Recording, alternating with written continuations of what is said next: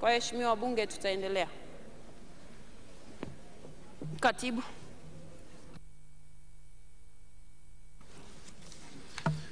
Miswada ya serikali. Mswada wa sheria ya marekebisho ya sheria mbalimbali namba tatu wa mwaka 2017. The Written Laws Miscellaneous Amendment number 3 Bill 2017. Mheshimiwa mwanasheria mkuu wa serikali.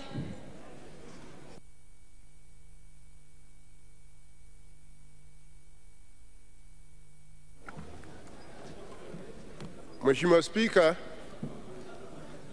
kwa heshima na taadhima na kwa kuzingatia masharti ya kanuni ya 86 ya kanuni za kudumu za Bunge toleo la mwaka 2016, naomba kutoa hoja kwamba mswada wa sheria marekebisho ya sheria mbalimbali namba tatu wa mwaka 2017 yani the written laws miscellaneous amendment number 3 act of 2017 sasa usomwe kwa mara ya pili na bunge lako tukufu liujadili na hatimaye liupitishe kuwa sehemu ya sheria za nchi. Mheshimiwa Spika, kabla ya kutoa maelezo kuhusu mswada huu, napenda kumshukuru sana Mwenyezi Mungu mwingi wa rehema kwa kutujali afya njema sisi waja wake na kutuwezesha kuwepo hapa siku ya leo huku tukiendelea kutimiza wajibu wetu wa kikatiba kwa ajili ya maslahi ya Watanzania na nchi yetu. Mheshimiwa Spika, ninakupongeza kwa uwezo wako mkubwa, hekima na busara katika kuliongoza bunge hili ukisaidiwa na naibu spika na wenye viti wa bunge. Pia na kupongeza kwa, kwa kuunda kamati maalum ambazo zilichunguza na kushauri juu ya mfumo bora wa uchimbaji, usimamizi, umiliki na udhibiti wa biashara ya madini ya almasi na tanzanite hapa nchini. Kwa hakika bunge hili limeshiriki ipasavyo katika kulinda maliasili za nchi kwa maslahi ya Watanzania wote, na niwapongeza waheshimiwa wabunge kwa kuendelea kutekeleza majukumu yao kwa ufanisi ipasavyo.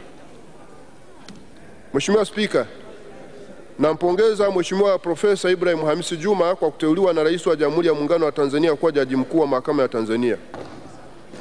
Wizara ya Katiba na Sheria ikiwemo ofisi ya mwanasheria mkuu wa serikali itaendelea kumpatia ushirikiano katika utendaji wa kazi zake, na tunamwombea kwa Mwenyezi Mungu aendelee kumjali afya njema, busara, hekima na ujasiri. Mheshimiwa Spika, Naomba kutumia fursa hii kutoa pole kwa Mheshimiwa Tundu Antipas Lissu na msemaji mkuu wa kambi rasmi ya upinzani bungeni katika Wizara ya Katiba na Sheria kwa majeraha na maumivu aliyoyapata baada ya kupigwa risasi mnamo tarehe 7 Septemba 2017. Pamoja na juhudi kubwa za madaktari, tunamwombea kwa Mwenyezi Mungu amwezeshe kupona mapema. Tunalaani vitendo na matukio aina hiyo katika nchi yetu. Kwa kuwa kwa sasa tukio hili linapelelezwa na jeshi la polisi, na kama ulivyolieleza bunge hili, ninashauri tuendelee kusubiria upelelezi unaofanywa. Tunaamini jeshi la polisi kwa umakini na ufanisi watakamilisha upelelezi huo mapema. Mheshimiwa Spika, mwisho ninaishukuru kamati ya kudumu ya katiba na sheria chini ya uongozi wa Mheshimiwa Mohamed Omari Mchengerwa, mbunge wa jimbo la Kibiti, na wajumbe wote wa kamati hiyo kwa michango na kazi nzuri walioifanya katika kuboresha mswada huu baada ya kukutana na wadau waliofika mbele ya kamati hiyo. Ushauri wa kamati umetusaidia kuboresha mswada huu kama inavyoonekana katika jedwali la marekebisho ambalo tumeliwasilisha hapa bungeni. Mheshimiwa Spika, mswada wa sheria marekebisho ya sheria mbalimbali namba tatu wa mwaka 2017 The Written Laws Miscellaneous Amendment number 3 Act of 2017 unapendekeza kufanya marekebisho katika sheria kumi na moja na kufuta sheria moja.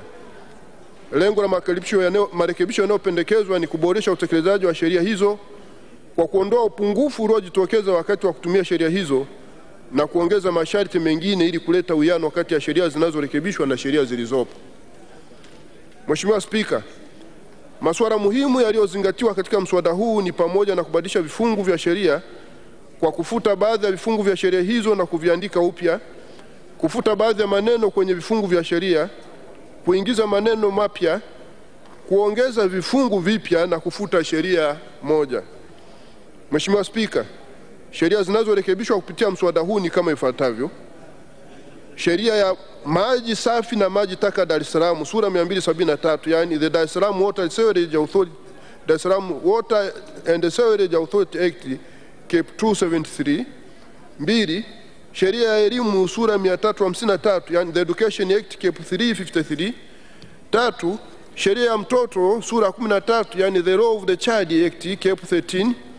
Ine, sheria ya madini sura 123, yani the Mining Act Cap 123. Tano, sheria mamlaka ya nchi kuhusu umiliki wa maliasili na rasilimali za nchi ya mwaka 2017 and the Natural Wealth and Resources Permanent Sovereignty Act of 2017. Sita, sheria ya petroli sura 392 ya the Petroleum Act Cap 393.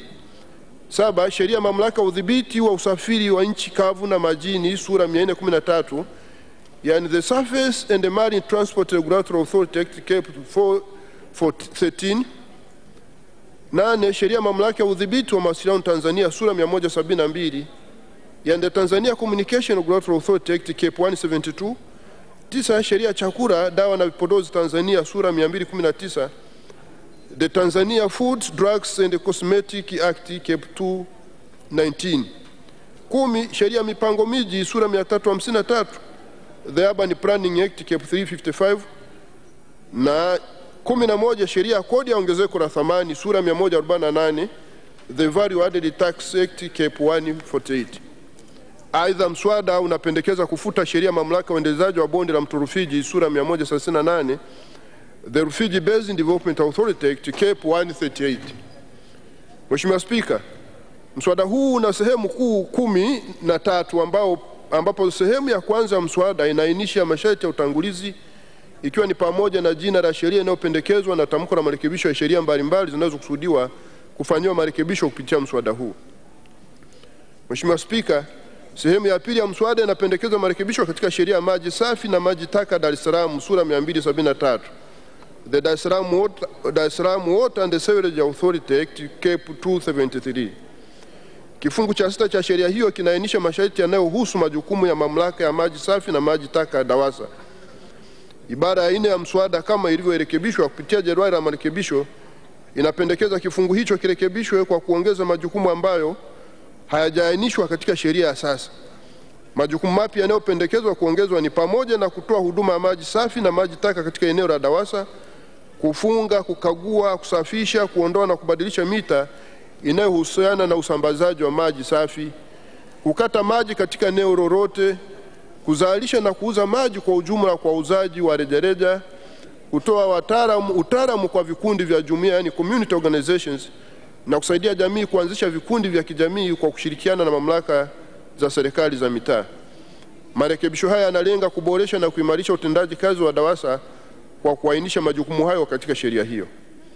Mheshimiwa Spika, sehemu ya tatu ya mswada inapendekeza marekebisho katika sheria ya elimu sura ya 353 The Education Act Cap 353. Kifungu cha 15 cha sheria hiyo kinaainisha masharti kuwa kamishina wa elimu hatatoa kibali cha kuanzisha shule chini ya sheria hiyo hadi mmiliki wa shule awe na kibali cha umiliki wa shule ya aina hiyo kutoka kwa waziri mwenye dhamana ya elimu au kibali hicho kiwe hakijafutwa. Ibara ya sita mswada huu inapendekeza kuwa kifungu hicho kifutwe. Lengo la marekebisho haya ni kuwezesha kazi hiyo ya kiutendaji kutekelezwa na kamishna wa elimu badala ya waziri. Mheshimiwa Spika, kifungu cha 16 cha sheria hiyo kinaweka masharti kuhusu kuthibitisha wamiliki wa shule na kuainisha mamlaka ya waziri mwenye dhamana ya elimu katika mchakato huo, ikiwa ni pamoja na kuelekeza namna ya kufanya maombi, kutoa kibali cha umiliki wa shule na kufuta kibali hicho. Ibara ya saba ya mswada inapendekeza vifungu vidogo vya tatu, nne, tano na saba vya kifungu hicho cha kumi na sita virekebishwe kwa kufuta neno waziri popote linapoonekana katika vifungu hivyo na badala yake kuweka neno kamishina. Kama ilivyoelezwa awali, lengo la marekebisho haya ni kuwezesha jukumu hilo la kiutendaji kuhusu utendaji wa utoaji wa vibali kwa wamiliki wa shule kutekelezwa moja kwa moja na kamishina wa elimu badala ya waziri. Mheshimiwa Spika, sehemu hii inapendekeza pia marekebisho katika kifungu cha 60 kifungu kidogo cha kwanza cha sheria ya elimu ambacho kinaainisha makosa mbalimbali chini ya sheria hiyo. Ibara ya nane ya mswada inapendekeza kuwa kifungu cha 60 kifungu kidogo cha kwanza a hey, kirekebishwe kwa kufuta neno waziri na kuweka badala yake neno kamishna. Aidha, kifungu cha 60 moja b kinafutwa na kuandikwa upya ili kuweka masharti kuwa itakuwa ni kosa la jinai kwa mtu yeyote kuendesha shule pasipo kupata kibali cha umiliki au meneja wa shule kinachotolewa na kamishna wa elimu. Sheria ilivyo sasa inaweka masharti kuwa kibali hicho kinatolewa na waziri mwenye dhamana ya elimu. Lengo la marekebisho haya ni kuainisha ma, ma, masharti hayo na masharti yaliyotangulia katika mswada huu, ambapo imependekezwa kuwa masuala ya kiutendaji kuhusu vibali vya umiliki wa shule yatekelezwe na kamishina wa elimu badala ya waziri. Mheshimiwa Spika, sehemu ya nne ya mswada inapendekeza marekebisho katika sheria ya mtoto sura ya 13, The Law of the Child Act Cap 13. Marekebisho yanayopendekezwa katika ibara ya kumi ya mswada ni kufuta na kuandika upya tafasiri ya maneno kituo cha kulelea watoto wachanga, yani creche, na kituo cha kulelea watoto uh, mchana day care center inayoainishwa katika kifungu cha tatu cha sheria hiyo. Sheria ilivyo sasa inaeleza pamoja na mambo mengine kuwa vituo hivyo viwili vinasajiliwa kwa ajili ya kupokea na kutunza watoto chini ya miaka mitano. Mswada unapendekeza kuwa kituo cha kulelea watoto wachanga creche kisajiliwa kupokea na kutoa watoto ambao umri wao ni chini ya miaka miwili na kituo cha kulelea watoto mchana yani day care center kisajiliwa kupokea na kutunza watoto ambao umri wao haupungui miaka miwili na hauzidi miaka mitano. Asili inayotofautisha maeneo maneno hayo ili kuwezesha sheria hiyo kutekelezeka kwa ufanisi. Mheshimiwa Spika, sehemu ya tano ya mswada inapendekeza marekebisho katika sheria ya madini sura ya 123 yani the Mining Act Cap 21. Kifungu cha 21 cha sheria hiyo kama kilivyorekebishwa na sheria marekebisho ya sheria mbalimbali ya 2017 kinaanzisha tume ya madini ambayo pamoja na mambo mengine ina mamlaka ya kushtaki na kushtakiwa mahakamani. Kwa kuwa tume hiyo ni taasisi ya serikali na mwanasheria mkuu wa serikali ndio mshauri mkuu wa serikali na taasisi zake kwa masuala yote ya kisheria, na kwa kuzingatia masharti ya ibara 59 ibara ndogo ina ya katiba ya Jamhuri ya Muungano ya 1977 yaani katiba, kwa mwanasheria mkuu ana haki ya kuhudhuria na kusikilizwa katika mahakama yote zote katika Jamhuri ya Muungano. Ibara ya kumi na mbili ya mswada inapendekeza kifungu hicho cha ishirini na moja kirekebishwe ili kuongeza masharti yatakayompatia mwanasheria mkuu wa serikali haki ya kuingilia katika shauri lililofunguliwa au na au dhidi ya tume kwa kuiwakilisha tume hiyo mahakamani katika shauri husika pale inapoonekana kuna umuhimu wa kufanya hivyo. Aidha, tume imepewa wajibu wa kumfahamisha mwanasheria mkuu wa serikali pale inaposhtakiwa au kushtakiwa mahakamani. Marekebisho haya yanalenga kulinda mali na masilahi ya serikali katika tume hiyo kuanzia hatua ya awali ya shauri husika. Mheshimiwa Spika, sehemu ya sita ya mswada inapendekeza marekebisho katika sheria ya mamlaka ya nchi kuhusu umiliki wa maliasili na rasilimali za nchi 2017 yani the Natural Wealth and Resources Permanent Sovereignty Act of 2017. Sheria ilivyo sasa haielezi wazi kama madini na mafuta ni miongoni mwa maliasili na rasilimali zilizoainishwa katika tafasiri ya maneno Natural Wealth and Resources iliyoko katika kifungu cha tatu cha sheria hiyo.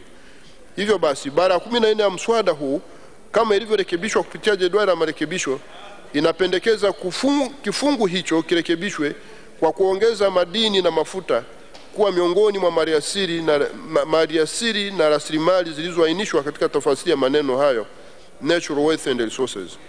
Lengo la marekebisho haya ni kuainisha wazi katika sheria kuwa madini na mafuta ni maliasili na rasilimali inayosimamiwa ipasavyo na masharti ya sheria hiyo.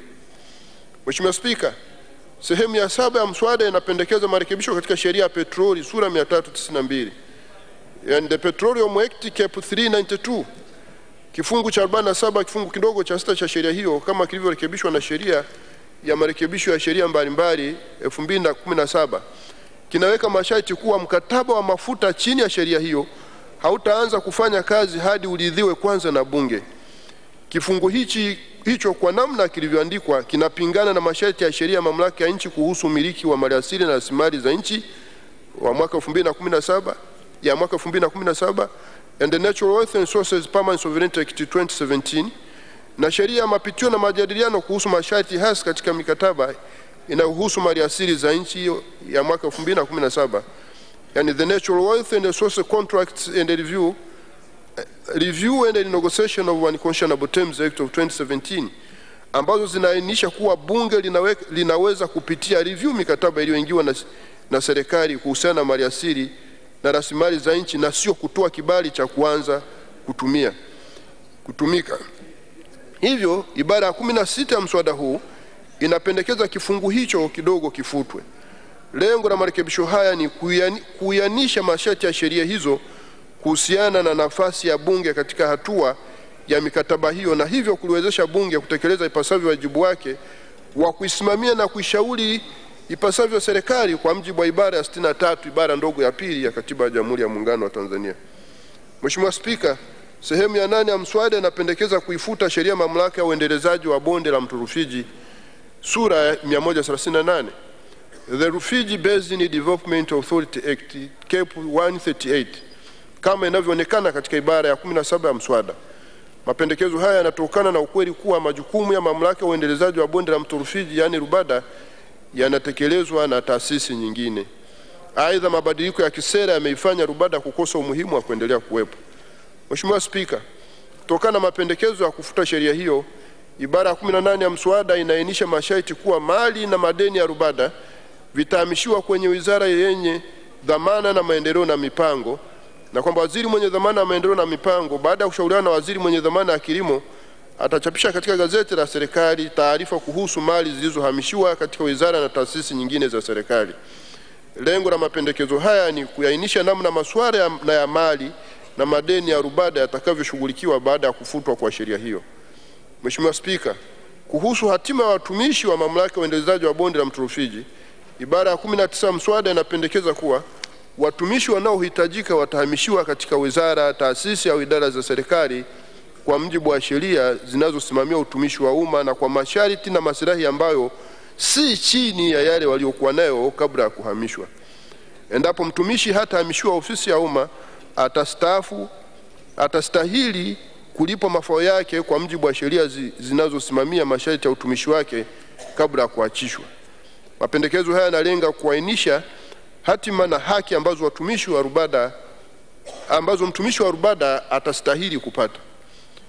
Mapendekezo ya mwisho katika sehemu hii ni kuweka masharti kuwa mikataba, hati, makubaliano yaliyoingiwa kabla ya kufutwa kwa sheria hiyo yataendelea kutumika na yanaweza kutekelezwa na au dhidi ya wizara, taasisi au idara husika ya serikali kama inavyoelezwa katika ibara ishirini ya mswada.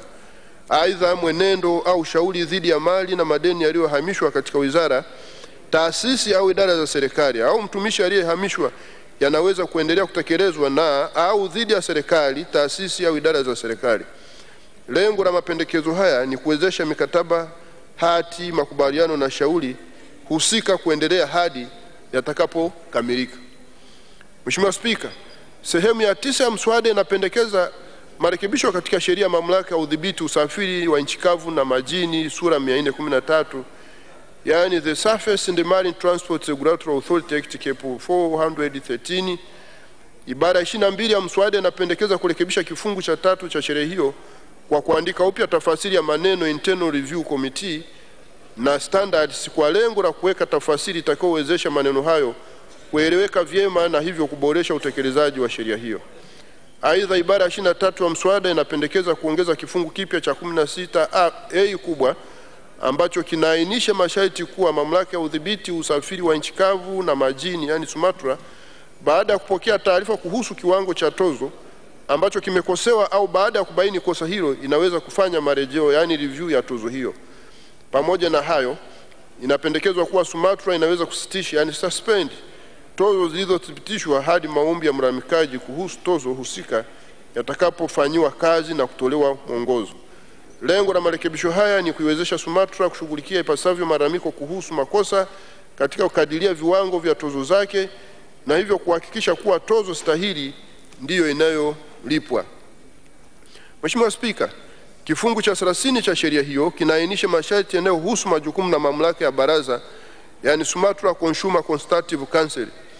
Ibara ya 24 ya mswada inapendekeza kifungu hicho kirekebishwe kwa kuongeza utafiti kwenye masuala yanayoathiri maslahi ya, watumi, ya watumiaji kuwa miongoni mwa majukumu ya baraza hilo.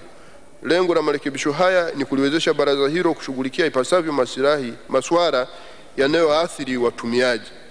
Mheshimiwa Spika, kama inavyoonekana katika, uh, katika jedwali la marekebisho, mapendekezo ya kuongeza adhabu katika vifungu vya 38 kifungu kidogo cha tatu na 40 kifungu kidogo cha kwanza vya sheria hiyo ambayo yalikuwa katika ibara ya 23 na ibara ya 26 za mswada yameondolewa.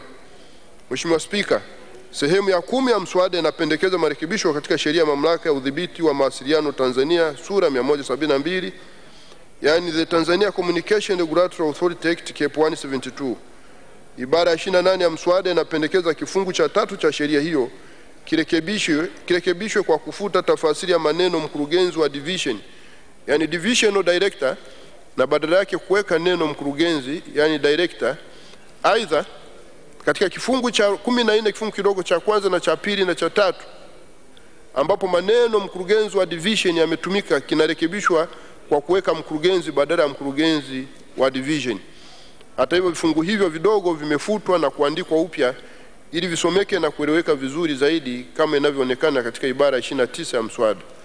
Lengo la marekebisho haya ni kuweka katika sheria cheo cha mkurugenzi ambacho kinawiana na muundo wa mamlaka ya udhibiti wa mawasiliano Tanzania tikra Mheshimiwa Spika, sehemu ya kumi na moja ya mswada inapendekeza marekebisho katika sheria ya chakula, dawa na vipodozi Tanzania sura 219 yani the Tanzania Food, Drugs and Cosmetics Act Cap 219. Ibara ya 31 mswada huu inapendekeza kurekebisha kifungu cha tatu cha sheria hiyo kwa kufuta na kuandika upya tafasiri ya maneno kifaa tiba, yani medical device. Lengo la marekebisho haya ni kuweka tafasiri inayoeleweka vizuri zaidi na hivyo kuiwezesha sheria kutekelezeka ipasavyo kwa kuweka utaratibu mzuri na kudhibiti uchunguzi wa afya na vifaa vya uchunguzi. Marekebisho mengine katika sehemu hii ni kurekebisha kifungu cha mia moja na tano kifungu kidogo cha kwanza a cha sheria hiyo ambacho kinaweka masharti kuhusu uteuzi wa wachunguzi chini ya sheria hiyo. Marekebisho yanayopendekezwa katika ibara ya 32 ya mswada ni kuongeza kuwaongeza wataalamu wa maabara ya afya yani health laboratory practitioners kuwa miongoni mwa wataalamu wanaoweza kuteuliwa kuwa wachunguzi. Marekebisho haya yataimarisha uchunguzi kwa kuwa masuala ya kimaabara yatachunguzwa na wataalamu husika katika tasnia hiyo. Mheshimiwa Spika, sehemu ya kumi na mbili ya mswada inapendekeza marekebisho katika sheria ya mipango miji sura 355 yani the Urban Planning Act Cap 355. Ibara ya 34 ya mswada inapendekeza kuongeza kifungu kipya cha sita a kubwa ili kuweka masharti kuhusu uteuzi wa panga miji yani town planners. Kifungu hicho kipya kinaelekeza kuwa katibu mkuu mwenye dhamana ya mipango miji atateua wapanga miji ambao watamsaidia mkurugenzi wa mipango miji kutekeleza majukumu yake kwenye kanda.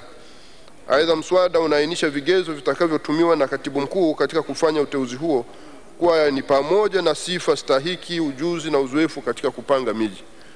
Mheshimiwa Spika, ibara ya 34 inapendekeza pia kuongeza kifungu cha 6b kubwa ambacho kitampatia mkurugenzi wa mpango, mipango miji mamlaka ya kukasima majukumu yake kwa wapanga miji ili kumsaidia kutekeleza majukumu yake chini ya sheria hiyo.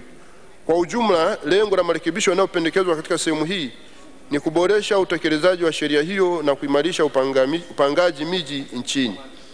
Mheshimiwa Spika, sehemu ya kumi na ya tatu ya mswada inapendekeza marekebisho katika sheria kodi ya ongezeko la thamani sura 148 yani the Value Added Tax Act Cap 148. Ibara ya 36 mswada huu kama ilivyorekebishwa kupitia jedwali la marekebisho inapendekeza marekebisho yafuatayo katika kifungu cha sita cha sheria hiyo. Kwanza, kifungu kidogo cha pili cha sita kidogo cha pili kinafanyiwa marekebisho ili kubadilisha mamlaka waziri kwenye dhamana masuala mamlaka ili kubainisha mamlaka waziri mwenye dhamana ya masuala ya fedha kutoa msamaha wa kodi ya vati kupitia hati itakayotangazwa katika gazeti la serikali kwa miradi ya serikali itakayogharimiwa na fedha za serikali na misaada ya wahisani au mikopo nafuu endapo mikataba baina ya serikali na wafadhili imeweka sharti la utoaji wa msamaha wa kodi ya vati kwa mradi husika. Hivi sasa sheria ya kodi ya ongezeko la thamani inatoza kodi miradi inayogharimiwa na serikali na waziri wa fedha na mipango hana mamlaka ya kusamehe kodi husika. Aidha, sheria imeweka sharti kwa, ma, kwa miradi inayofadhiliwa na wahisani kulipa kodi ya vati kwenye manunuzi ya bidhaa na huduma ndani ya nchi na baadaye kodi husiki, husika kurejeshwa baada ya TRA kufanya ukaguzi. Lengo la marekebisho haya kwanza ni kuwezesha miradi inayofadhiliwa na serikali au wafadhili kutekelezwa kwa wakati, kwa kuwa uzoefu umeonyesha kuwa utaratibu wa kutoza kodi ya vati kwa miradi hii unachelewesha kwa kiwango kikubwa ukamilishaji wa miradi husika. Pili, hatua hii itaondoa malalamiko ya wafadhili mbalimbali na hivyo kuweka mazingira bora kwa wahisani hao wa maendeleo kuendelea kutoa misaada yao kwenye miradi mbalimbali kwa ustawi wa nchi. Pili, kifungu kidogo cha sita, cha, kifungu kidogo cha sita tatu, cha tatu cha, cha sita kifungu kidogo cha tatu cha, cha sita kinapendekeza yani subsection 3 of section, of section 6 kinapendekeza kuweka sharti ili msamaha utakaotolewa chini ya kifungu kidogo cha pili ufutwe endapo bidhaa au huduma iliyopewa msamaha wa kodi ya VAT itatumika na mtu mwingine ambaye hakukusudiwa kufaidika na msamaha husika. Aidha, endapo msamaha husika utatumika kinyume na utaratibu, mradi au kampuni iliyopewa msamaha itawajibika kulipa kodi hiyo. Lengo la mapendekezo la pendekezo hili ni kuhakikisha kwamba msamaha utakaotolewa unatumika kwa miradi ya serikali iliyokusudiwa na hivyo kuzuia ukwepaji kodi kupitia utaratibu huu wa utoaji msamaha. Tatu, kifungu kidogo cha, cha nne kinapendekezwa kuweka masharti kwamba hati ya msamaha wa kodi itakayotolewa na waziri wa fedha na mipango ibainishe bidhaa na huduma zinazosamehewa kodi ya VAT, tarehe ya kuanza kutumika na kwa msamaha husika na muda wa kumalizika kwa msamaha huo.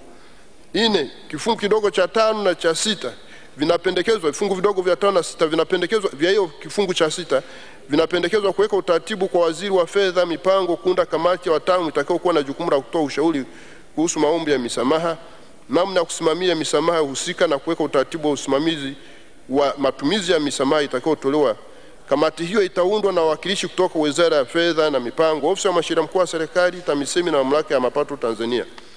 Aidha, endapo kamati itahitaji utaalamu wa aina fulani wakati wa uchambuzi wa maombi ya msamaha itakayowasilisha itaweza kumwalika mtu mwenye utaalamu huo katika vikao vyake. Tano, kifungu kidogo cha nane kinapendekezwa kuweka tafasiri ya maana ya miradi itakayogharamiwa na serikali, yani project funded by the government, ambayo itaifaidika na misamaha husika ikiwemo miradi ya miundombinu ya maji, usafirishaji, gesi na nishati, majengo ya utoaji wa huduma za afya na elimu kwa umma na vituo vya watu wenye ulemavu.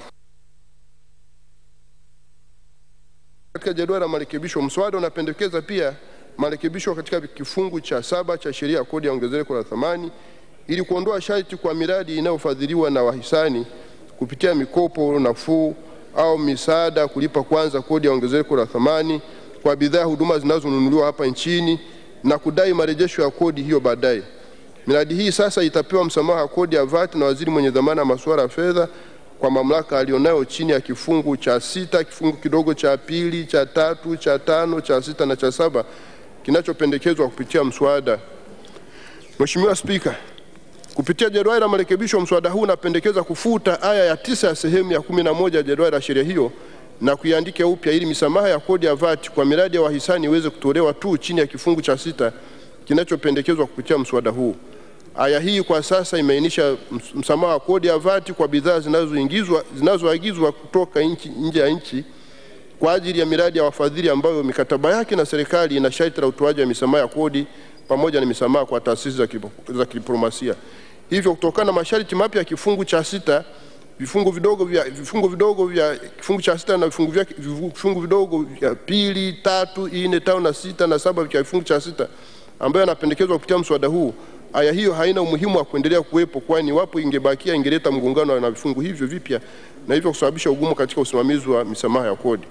Mheshimiwa Spika, baada ya maelezo hayo, ninakushukuru tena kwa kunipatia nafasi ya kuwasilisha maelezo haya kuhusu mswada huu wa sheria ya marekebisho ya sheria mbalimbali namba tatu wa mwaka 2017 na naomba bunge lako tukufu lijadili na kupitisha mswada huu katika hatua ya kusoma kwa mara ya pili na mara ya tatu ili hatimaye marekebisho husika yawe sehemu ya sheria za nchi.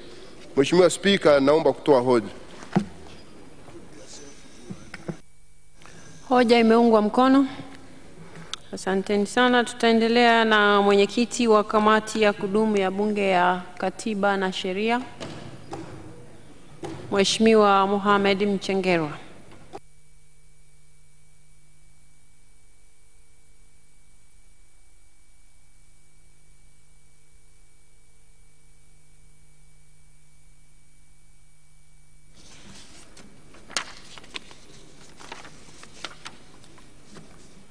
Mheshimiwa Naibu Spika, kwanza nianze kwa kumshukuru sana Mwenyezi Mungu mwingi wa rehema alinijalia mimi afya njema, kujalia wewe Mheshimiwa Naibu Spika pamoja na wabunge wote wa bunge lako hili tukufu.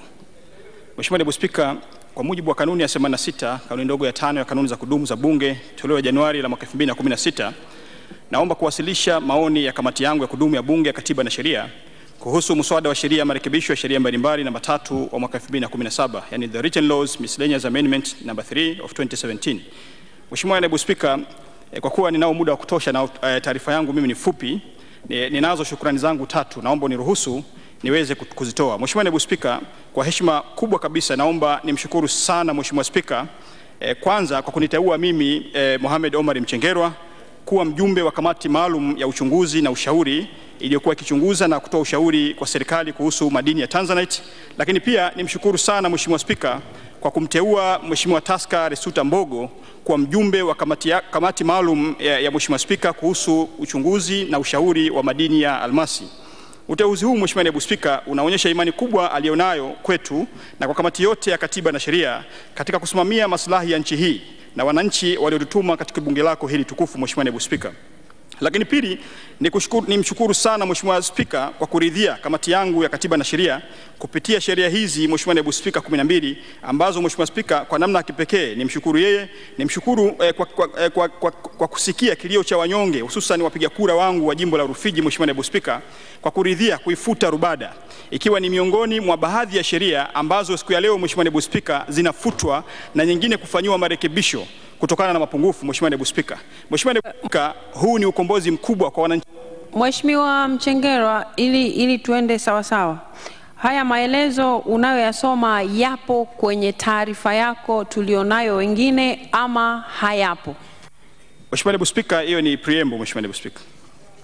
Na Mheshimiwa Mchengerwa, kwa kanuni zetu unasoma kile ulicholeta, ndio maana unasema unaambiwa unasoma. Kwa hiyo tusomee hicho ambacho umetuletea tafadhali. Uh, Kwa mujibu wa kanuni ya 84 kanuni ndogo ya kwanza ya kanuni za kudumu za Bunge toleo la eh, Januari mwaka 2016 kamati ya Katiba na Sheria iliyopokea mswada huu tarehe 5 mwezi eh, Septemba 2017 baada ya kusoma bungeni kwa mara ya kwanza katika mkutano wa nane wa bunge hili ili ufanyie kazi, na mnamo tarehe 8 mwezi Septemba 2017 waziri wa elimu, sayansi na teknolojia Profesa eh, Joyce Ndalichako kwa niaba ya mtu wa hoja ambaye ni waziri wa Katiba na Sheria pamoja na mawaziri wengine wanaoguswa na, na, na maeneo mbalimbali ya mswada huu walifika mbele ya kamati iliyoketi Dodoma na kutoa maelezo kuhusu malengo na madhumuni ya mswada huu wenye lengo la kufanya marekebisho mbalimbali katika sheria husika kwa madhumuni ya kuondoa mapungufu ama kasoro zinazojitokeza wakati wa utekelezaji wa sheria hizo. Mheshimiwa na- Naibu Spika, pamoja na timu ya mawaziri na manaibu waziri kufika mbele ya kamati yangu, kulikuwa na watendaji mbalimbali kutoka wizara na taasisi mbalimbali za serikali zinazoguswa na mabadiliko yanayopendekezwa katika mswada huu. Mheshimiwa Naibu Spika, taarifa hii ni matokeo yaliyofikiwa kati ya kamati ya Katiba na Sheria na serikali kuhusu maeneo mbalimbali yanayofanyiwa marekebisho katika mswada huu. Mheshimiwa Naibu Spika, sheria zinazokusudiwa kufanyiwa marekebisho katika mswada huu ni kama ifuatavyo: moja, sheria ya maji safi na maji taka Dar es Salaam sura ya 273, sheria ya elimu sura ya 353, sheria ya mtoto sura ya sura ya 13, sheria ya madini sura ya 123, sheria ya taifa ya umwagiliaji sura ya 435, sheria ya mamlaka ya nchi kuhusu rasilimali na- za nchi namba 5 ya mwaka 2017, sheria ya petroli sura ya 392, sheria ya mamlaka ya uendelezaji wa bonde la mto Rufiji sura ya 138, sheria ya mamlaka ya udhibiti ya usafiri wa nchi kavu na majini sura ya 413, sheria ya mamlaka ya mawasiliano Tanzania sura ya 172, sheria ya mamlaka ya chakula, dawa na vipodozi sura ya 219, sheria ya mipango miji sura ya 355 na sheria ya kodi ya ongezeko la thamani sura ya 148. Mheshimiwa Naibu Spika, Kwa kuzingatia matakwa ya kanuni ya 84 kanuni ndogo ya pili ya kanuni za kudumu za Bunge toleo la Januari mwaka 2016 na kwa kuzingatia matakwa ya ibara ya nane na ibara ya eh, 21 ya, ya ibara ndogo ya pili ya Katiba ya Jamhuri ya Muungano inayowapa wananchi nafasi ya kushiriki katika masuala mbalimbali yanayowahusu, kamati iliwaalika wadau mbalimbali ili waweze kufika mbele ya kamati na kutoa maoni yao kuhusu mswada huu. Napenda kuliarifu bunge lako tukufu, Mheshimiwa Naibu Spika, kwa kutumia nafasi hii kuwashukuru kwa dhati wadau wote walioshiriki na kutoa maoni yao katika mswada huu. Naomba kutambua mchango wao kama ifuatavyo: Chama cha Mawakili Tanganyika, Chama cha Wamiliki wa Mabasi Tanzania TABOA, Taasisi ya Sekta Binafsi Tanzania pamoja na Chama cha Mawakala wa Forodha Tanzania. Malengo na madhumuni ya mswada. Mheshimiwa Naibu Spika, maelezo ya jumla mswada huu yapo katika taarifa ya mtoa hoja Waziri wa Katiba na Sheria ambayo tayari imesomwa hapa mbele yako Mheshimiwa Naibu Spika na mwanasheria mkuu wa serikali pamoja na maelezo, mengine, maelezo na malengo na madhumuni ya mswada yaliyomo kwenye mswada, mswada kuanzia, ukurasa wa kumi na nne mpaka kumi na saba na kwa faida ya muda naiomba nisirudie tena maelezo haya, na sehemu hii Mheshimiwa Naibu Spika, naomba yote iingie katika taarifa rasmi za Bunge, yani Hansard. Kwa msingi huu Mheshimiwa Naibu Spika, naomba sasa nijielekeze katika uchambuzi wa jumla wa mswada huu. Uchambuzi wa jumla wa mswada. Mheshimiwa Naibu Spika, kamati kwa umakini mkubwa ilipitia vifungu vyote 36 vya mswada huu na kujiridhisha na dhima na muundo wa mswada. Kamati ilijiridhisha kwamba vifungu hi, vingi, vingi vya mswada ni vifungu vya kimuundo na havikuwa na madhara katika maudhui ya mswada, yani construction provision. Kwa mfano, katika vifungu cha 36 vya mswada, vifungu karibia 25 havikuwa havikuwa na tatizo lolote katika maudhui ya mswada, mswada pamoja na kifungu cha kwanza, cha pili, cha tatu, cha tano, cha sita, cha saba, cha nane na vinginevyo. Mheshimiwa Naibu Spika, baadhi ya marekebisho katika mswada huu ni ya kawaida na hayakuleta mjadala pamoja eh, mjadala wowote kati ya kamati na serikali. Kwa mfano, marekebisho katika sheria ya mamlaka ya maji, maji safi na maji taka Dar es Salaam, sheria ya elimu, sheria ya mtoto, sheria ya madini, sheria ya mamlaka nchi, ya, ya, ya, ya nchi kuhusu rasilimali za nchi namba tano ya mwaka 2017, sheria ya mamlaka ya chakula madawa, vipodozi na sheria ya mipango miji. Kamati ilikubaliana na mapendekezo ya serikali kuhusu marekebisho ya sheria hizi kwa sababu zilizotajwa na mtoa hoja. Mheshimiwa Naibu Spika, kamati ilijielekeza katika sheria ya petroli, ufutwaji wa sheria ya rubada sheria ya mamlaka ya udhibiti usafiri nchi kavu na majini na sheria ya kodi ya ongezeko la thamani. Katika sheria hizi, Mheshimiwa Naibu Spika, yapo maeneo ambayo kamati ilitaka maelezo ya ziada kutoka serikalini kuhusu marekebisho yanayopendekezwa. Mheshimiwa Naibu Spika, serikali ilitoa maelezo ya ziada kuhusu maeneo yaliyorekebishwa katika sheria hizi ili kuleta ufanisi katika utekelezaji katika kifungu cha 16 cha mswada kinachobadilisha kifungu cha 47 kifungu kidogo cha sita cha sheria ya petroli. Kamati imekubaliana na serikali kwamba mabadiliko haya yana kusudia kutoa na nafasi kwa bunge kuisimamia vizuri serikali na hasa kwa kuzingatia utekelezaji wa mikataba mbalimbali ambayo serikali imekuwa inaingia na wawekezaji mbalimbali katika sekta ya mafuta. Mheshimiwa Naibu Spika, kama bunge litapitisha mikataba, na, litapitisha mikataba ya namna hii hakutakuwa tena na dhana ya checks and balance kati ya mihimili hii ya dola, hivyo kulifanya bunge kuwa sehemu ya makosa au matatizo yoyote yanayotokana na mikataba hiyo. Mheshimiwa Naibu Spika, kuhusu ufutwaji wa sheria ya rubada, kamati ilitaka kujiridhisha kuhusu utaratibu wa kisheria uliowekwa ulio, ulio kuhusu mali na madeni ya mamlaka pamoja na maslahi ya wafanyakazi wa mamlaka na hasa kipindi cha mpito, yani transitional period. Mheshimiwa Naibu Spika, kuhusu marekebisho yaliyokusudiwa katika sheria ya Sumatra hasa kifungu cha 23, kifungu cha 25 pamoja na kifungu cha 26 ya mswada huu, kamati ilihitaji maelezo ya ziada kutoka Sumatra kuhusu uhalali wa tozo, yani faini katika marekebisho hayo ambayo inapanda kutoka shilingi laki tano mpaka faini isiyopungua shilingi milioni tatu na isiyozidi shilingi milioni hamsini kwa makosa yaliyotajwa kisheria. Mheshimiwa Naibu Spika, katika sheria ya kodi ya ongezeko la thamani kamati ilitaka kufahamu mamlaka aliyonayo waziri mwenye dhamana na masuala ya fedha kutoa msamaha wa kodi ya ongezeko la thamani kwenye miradi inayofadhiliwa na wadau wa maendeleo au mikopo yenye masharti nafuu ambayo mikataba husika ina masharti ya kutoa misamaha hiyo. Katika sheria hii, Mheshimiwa Naibu Spika, kamati ilitaka kujiridhisha na namna waziri husika atakavyounda atakavyo kamati ya wataalam, yani technical committee, ambayo itamshauri waziri kuhusu utoaji na ufuatiliaji wa misamaha hiyo. Mheshimiwa Naibu Spika, baada ya majadiliano ya kina kati ya serikali na kamati, serikali serikali ilikubali kuyafanyia kazi marekebisho na mapendekezo ya kamati na, na, na, na, na kuyajumuisha katika jedwali la marekebisho kama ilivyowasilishwa katika bunge lako tukufu na hasa katika sheria ya kodi ya ongezeko la thamani na sheria ya SUMATRA. Mheshimiwa Naibu Spika. Mheshimiwa Naibu Spika, kwa msingi huu ninaomba sasa nijielekeze katika maoni na ushauri wa kamati kwa ujumla. Maoni na ushauri wa kamati. Mheshimiwa Naibu Spika, kutokana na uchambuzi huo, kamati inatoa maoni ya jumla ya kuzingatiwa kama ifuatavyo: ufutwaji wa sheria ya mamlaka ya uendelezaji wa bonde la mto Rufiji, yani RUBADA. Mheshimiwa Naibu Spika, kwa kuwa serikali ya awamu ya tano inachukua hatua za kutosha katika kuboresha taasisi za umma kama ambavyo ilifuta mamlaka ya ustawishaji makao makuu ya Dodoma mwezi wa tano mwaka huu, kamati inashauri kwamba madeni yanayoachwa na taasisi inayovunjwa yasihamishiwe katika taasisi nyingine. Kamati inashauri iundwe ofisi ya taifa ya madeni, yani National Debt Management Office, ambayo itakuwa na jukumu la kurithi na kusimamia madeni yote ya taifa. Utaratibu huu, Mheshimiwa Naibu Spika, utumike hata katika kusudio la kuvunja mashirika mengine kama shirika la, la umma la, la, la, la Rahako. Utaratibu huu Mheshimiwa Naibu Spika umetumika pia katika nchi nyingine za jirani, kwa mfano Kenya. Maslahi ya wafanyakazi yazingatiwe. Kamati inaishauri kwamba maslahi yote yanayohusiana na ajira za wafanyakazi wote wa mamlaka ya RUBADA yazingatiwe na hasa katika kipindi hiki cha mpito, na kwamba kila atakayeachishwa kazi alipwe, al- alipwe sawa sawa na mkataba wake wa kazi na, tarat, na, na, na taratibu, sheria za ajira na utumishi wa umma. Mheshimiwa Naibu Spika, pia yako maeneo katika eneo hili ambayo tunapenda kuishauri pia serikali ya- yale mashamba na viwanja vya wananchi wa Rufiji pia virejeshwe kwa wananchi wa Rufiji. Mheshimiwa Naibu Spika, kuhusu sheria na mamlaka ya udhibiti usafiri wa nchi kavu na majini SUMATRA, kamati inaishauri serikali kuandika tena kifungu cha 25 pamoja na kifungu cha 26 vya muswada ili viseme kwa uwazi, yani expressly kwamba vimekusudia kutoa adhabu iliyotajwa katika vifungu hivyo kwa makosa yatakayotendeka katika vyombo za usafiri baharini ambavyo vipo chini ya Mercantile Shipping Act ya mwaka 2003 na sio kwa makosa yanayotendeka katika usafiri wa nchi kavu ambayo yapo chini ya sheria ya Transport Licensing Act ya mwaka 1973. Mheshimiwa Naibu Spika, kama ambavyo kamati imewahi kushauri siku za nyuma na hasa katika taarifa yake kuhusu uridhiaji wa mikataba ya kazi ya mabaharia Tanzania, ni muda mwafaka sasa, Mheshimiwa Naibu Spika, wa kuboresha sekta ya usafiri majini kwa kuwa na taasisi moja ya upande wa Tanzania bara itakayosimamia sekta ya usafiri wa majini kama ilivyo Zanzibar, ambayo kuna mamlaka ya usafiri majini, yani Zanzibar Maritime Authority. Ni vyema sasa sekta ya usafiri wa nchi kavu na ile ya majini, kila moja iwe na sheria ya taasisi yake ili kuongeza ufanisi katika usimamizi wa sekta hizi.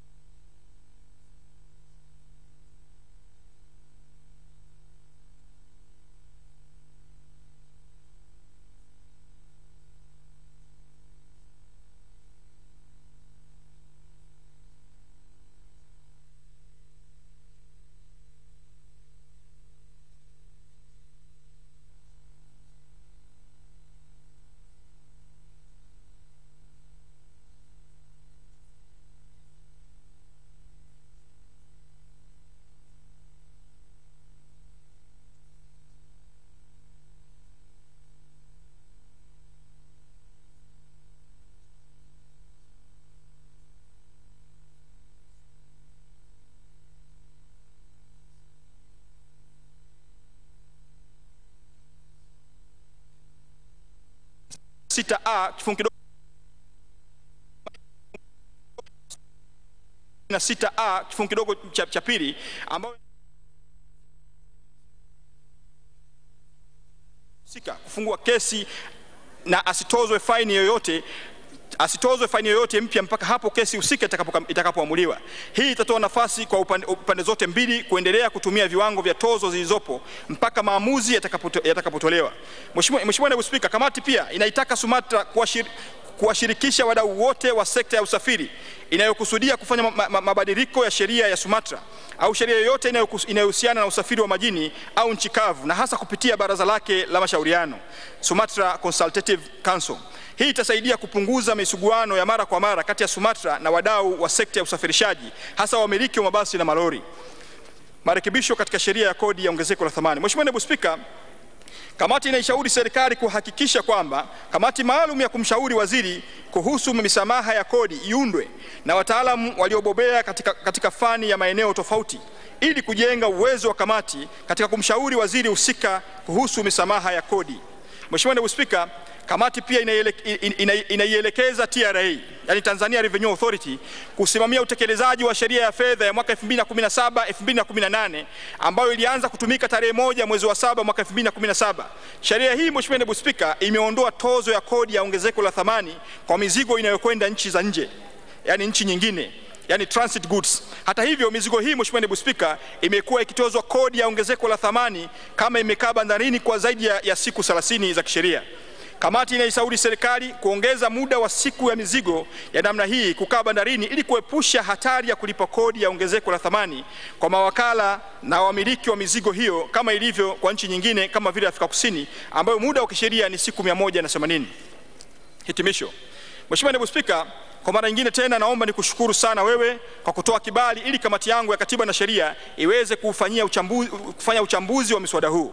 Mheshimiwa Naibu Spika, naomba niwatambue na kuwashukuru wadau mbalimbali waliofika na kutoa maoni na ushauri wao kwa kamati ambayo imesaidia kupatikana kwa taarifa hii. Mheshimiwa Naibu Spika, kwa namna ya kipekee kabisa naomba niwashukuru sana sana wajumbe wa kamati yangu ya Katiba na Sheria pamoja na wajumbe waalikwa wote walioshiriki katika kuchambua mswada huu na hatimaye kutoa mapendekezo ya msingi ya kuuboresha.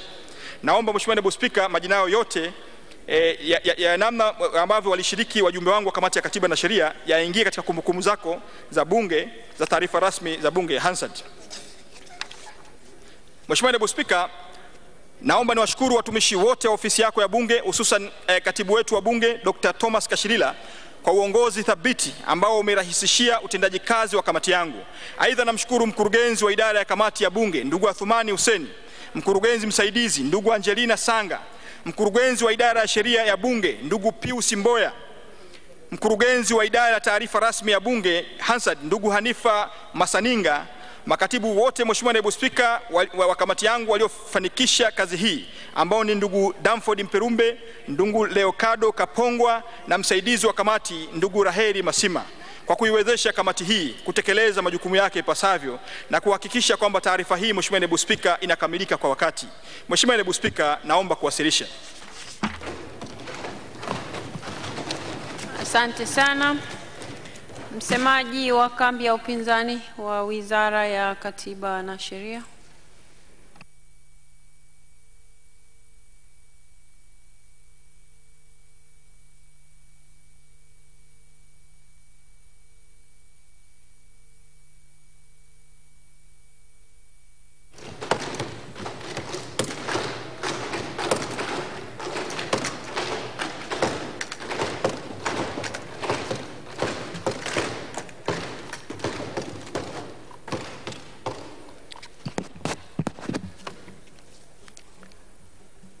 Mheshimiwa Naibu Spika, kwa niaba ya kambi rasmi ya upinzani bungeni, naomba kuwasilisha maoni ya kambi ya upinzani kuhusu muswada wa sheria ya marekebisho ya sheria mbalimbali namba tatu wa mwaka 2017. Mheshimiwa Naibu, kabla sijatoa maoni kuhusu muswada huu, naomba kulaani tukio la kupigwa risasi mchana kweupe kwa waziri kivuli wa sheria na katiba ambaye pia ni mnadhimu wa kambi yetu Mheshimiwa Tundu Antipas Mugwai Lissu mchana wa tarehe 7 Septemba 2017 wakati akitoka bungeni kutekeleza wajibu wake wa uwakilishi wa wananchi. Tusipolaani tukio kama hilo ambalo limempata mbunge mwenzetu, tutakuwa hatujatenda haki, kwa kuwa mlolongo wa matukio ya utekaji na uvamizi ambayo mengi yameripotiwa na kuzungumzwa hapa bungeni, ni dhahiri kuwa kati yetu hakuna aliye salama, awe wa upinzani au upande wa chama kilichotoka madarakani. Sehemu inayofuata naiamini kama nilivyoiandika, lakini sitaisoma kwa ajili ya amri ya Spika. Maelezo ya jumla kuhusu mswada. Mheshimiwa Naibu Spika, mswada huu ulichapishwa tarehe 3 Septemba 2017 kwenye gazeti la serikali namba 4 juzuu ya 98 ambapo ni siku mbili kabla ya kuanza kwa mkutano huu wa Bunge ambapo umeletwa kwa hati ya dharura. Katika mkutano wa saba wa Bunge la kutukufu tulipitisha sheria mbalimbali kwa kile kilichoitwa vita kulinda rasilimali za nchi. Moja ya sheria zilizowasilishwa wakati huo ilikuwa ni marekebisho ya sheria mbalimbali ikiwemo sheria ya madini ya mwaka 2010, sheria ya petroli ya mwaka 2015 pamoja na sheria za kodi. Mheshimiwa Naibu Spika, pamoja na mswada wa sheria mbalimbali ulipitishwa pia sheria mamlaka ya nchi kuhusiana na umiliki wa rasilimali na mali asili ijulikanayo kwa Kiingereza kama the Natural Wealth Resources Permanent Sovereignty Act ya mwaka 2017. Wakati wa mjadala wa miswada hiyo kwenye mkutano wa saba, tulieleza bayana kutoridhishwa na tabia ya serikali kuleta miswada katika bunge lako tukufu kwa hati ya dharura. Pamoja na kwa uwasilishaji wa miswada kwa hati ya dharura kuwa na kibali kwa mujibu wa kanuni za bunge, ni wazi kwamba dhana hiyo inaminya uhuru wa kupokea maoni kutoka kwa wadau mbalimbali, ikiwa ni pamoja na heshima wa bunge kukosa muda wa kufanya tafa, tafakuri ya kina kuhusu miswada ya sheria iliyowasilishwa na serikali. Kuletwa kwa sheria ya mamlaka ya nchi kuhusiana na umiliki wa rasilimali na mali asili ya mwaka 2017 kama moja ya sheria ambazo zinafanyiwa marekebisho na muswada huu ni ishara kuwa kambi rasmi ya upinzani ilikuwa sahihi kupinga kupitishwa kwa sheria kwa hati ya dharura. Aidha, ni ishara kuwa ndani ya wiki nane au miezi miwili baada ya kutungwa sheria hizo na kuanza kutumika zinaletwa tena kufanya marekebisho hapa bungeni. Aidha, kambi rasmi ya upinzani bungeni imeshtushwa na itifaki au sheria ya kimataifa zilizowasilishwa hapa bungeni katika mkutano huu wa bunge ambazo msingi na utaratibu wa utatuzi wa migogoro inayotokana na itifaki au mikataba au sehemu au sheria hizo ifanyike katika vyombo au mabaraza ya uamuzi ambayo yako nje ya Tanzania. Jambo hili ni kinyume cha sheria ambayo imepitishwa katika bunge hili miezi miwili iliyopita. Mheshimiwa Naibu Spika, ushahidi wa hili nalolisema ni mkataba wa kuanzishwa kamisheni ya pamoja ya bonde la mto Songwe, ambapo ibara ya kumi na tatu mbili mgogoro wa pande zinazohusika na mto Songwe unapelekwa kwenye baraza la SADC, jambo ambalo ni kinyume cha sheria ya mamlaka za nchi kuhusiana na umiliki wa rasilimali na mali asili wa mwaka 2017 ambayo sisi bunge tumepitisha. Mheshimiwa Naibu Spika, aidha hivi karibuni zilifanyika shamra shamra za kuzindua ujenzi wa bomba la mafuta kutoka Hoima nchini Uganda hadi kijiji cha Chongoleeni mkoani Tanga, ambapo katika mkutano huo wa nane katika mkutano huo wa nane wa bunge la kutukufu mkataba wa ujenzi wa bomba hilo ume, umewasilishwa kwa ajili ya kuridhiwa na bunge kwa mujibu wa ibara ya 633 e ya katiba ya Jamhuri ya Muungano wa Tanzania mwaka 77. Pamoja na mambo mengine katika mkataba huo wa bomba la mafuta ibara ya 192 ambapo endapo kukitokea mgogoro, mgogoro huu utapelekwa katika baraza la usuluhishi la London, ikiwa ni pamoja na pande zote kukubaliana na maamuzi ya baraza hilo. Mheshimiwa Naibu Spika, kuletwa kwa marekebisho haya mara nyingine tena na kwa njia ya dharura tena ni ishara kuwa hakuna utaratibu, utaratibu mzuri, hakuna uratibu mzuri wa shughuli za kiutendaji miongoni mwa taasisi za serikali. Haiwezekani ndani ya miezi miwili serikali hiyo hiyo iwe imesahau kuwa yapo masharti ambayo kwa sasa yanatufunga kwenye ma, masuala ya utatuzi wa migogoro inayohusiana na rasilimali za nchi. Uchambuzi wa mswada. Mheshimiwa Spika, sehemu ya pili ya mswada wa kifungu cha tatu na cha nne kinafanyia marekebisho sheria ya mamlaka ya maji safi na maji taka jijini Dar es Salaam DAWASA sura ya 273. Katika marekebisho hayo, serikali inasema kuwa inaiongezea majukumu DAWASA ili kutatua changamoto za kila mara wanazokumbana nazo. DAWASA pamoja na shirika la maji safi na maji taka Dar es Salaam DAWASCO zinafanya kazi kwa ushirikiano, isipokuwa mmoja ni mmiliki na mwingine ni msimamizi na miundombinu na mwingine ni mwendeshaji wa miundombinu hiyo ya, ya huduma za maji safi na maji taka kwa ajili la Dar es Salaam na mji wa Kibaha na Bagamoyo mkoani Pwani. Mheshimiwa Naibu Spika, kambi rasmi ya upinzani bungeni inaitaka serikali kuhakikisha kuwa inaleta mkakati wa maji taka katika jiji la Dar es Salaam na sio kuiongezea DAWASA majukumu. Ikumbuke kuwa tatizo la maji taka katika jiji la Dar es Salaam ni kubwa sana na madhara yake ni makubwa, ikiwa ni athari za kimazingira na za kiafya. Mheshimiwa Naibu Spika, jiji la Dar es Salaam halihitaji siasa nyepesi za kufanya usafi kila Jumamosi kama inavyofanywa hivi sasa. Jiji la Dar linahitaji mkakati madhubuti wa kushughulikia kero ya majitaka. Masuala ya kufunga maduka na shughuli za kibiashara kila Jumamosi kwa maelekezo ya mkuu wa mkoa ni fikra nyepesi, wakati kuna tatizo kubwa la namna ya kusimamia masuala ya majitaka jijini. Kwa sasa DAWASA inatoa huduma ya majitaka kwa wateja ishirini elfu kwenye jiji la watu zaidi ya milioni nne. Aidha, miundombinu ya majitaka ni mibovu na kwa sasa imekuwa ya muda mrefu, wakati kuna ongezeko kubwa la idadi ya watu. Vile vile mabwawa ya kupokea na kuhifadhi majitaka kutoka kwenye majumba ya watu ni ya zamani na kwa sasa yameshakuwa katika katikati ya makazi, mathalan mabwawa ya Mabibo na Mikocheni, hiyo kuwa kero kwa wananchi wanaoishi katika maeneo ya jirani. Mheshimiwa Spika, Mheshimiwa Spika, kambi rasmi ya upinzani bungeni inaitaka serikali kuleta mpango wa maji taka jiji la Dar es Salaam na majiji mengine ili kuzuia kupatwa na majanga ya kiafya. Kinga ni bora kuliko tiba. Tiba sio kuelekeza miundombinu ya maji taka baharini, ambapo hilo pia ni kuzidisha matatizo na magonjwa ya milipuko, kwani fukwe zetu zinatakiwa kuwa safi na salama muda wote.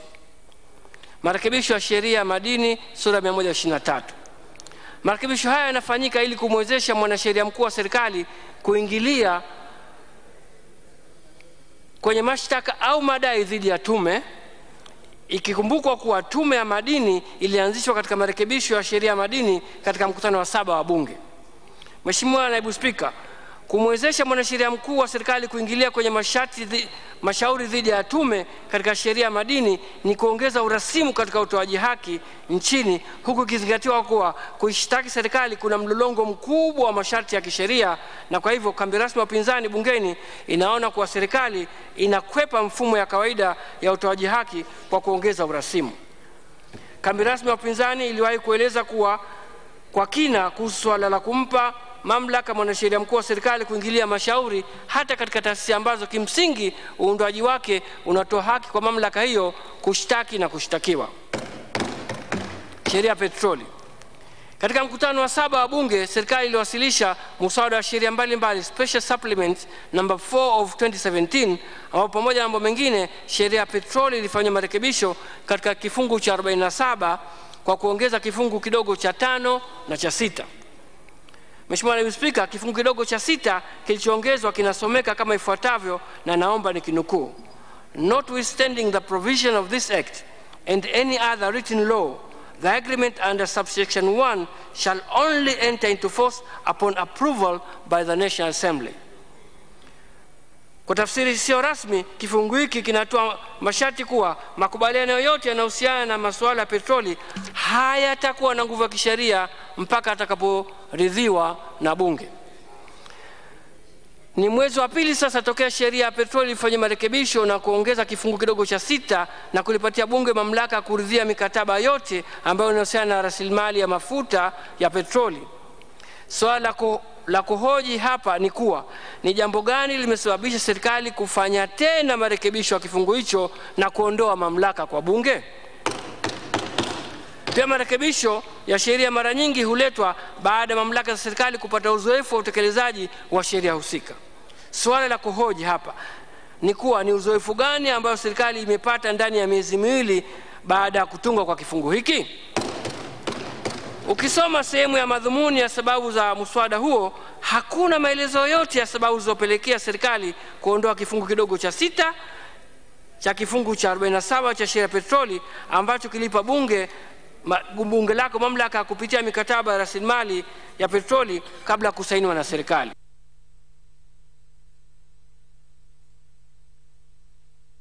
naliomba bunge lako tukufu kukataa pendekezo hili la serikali.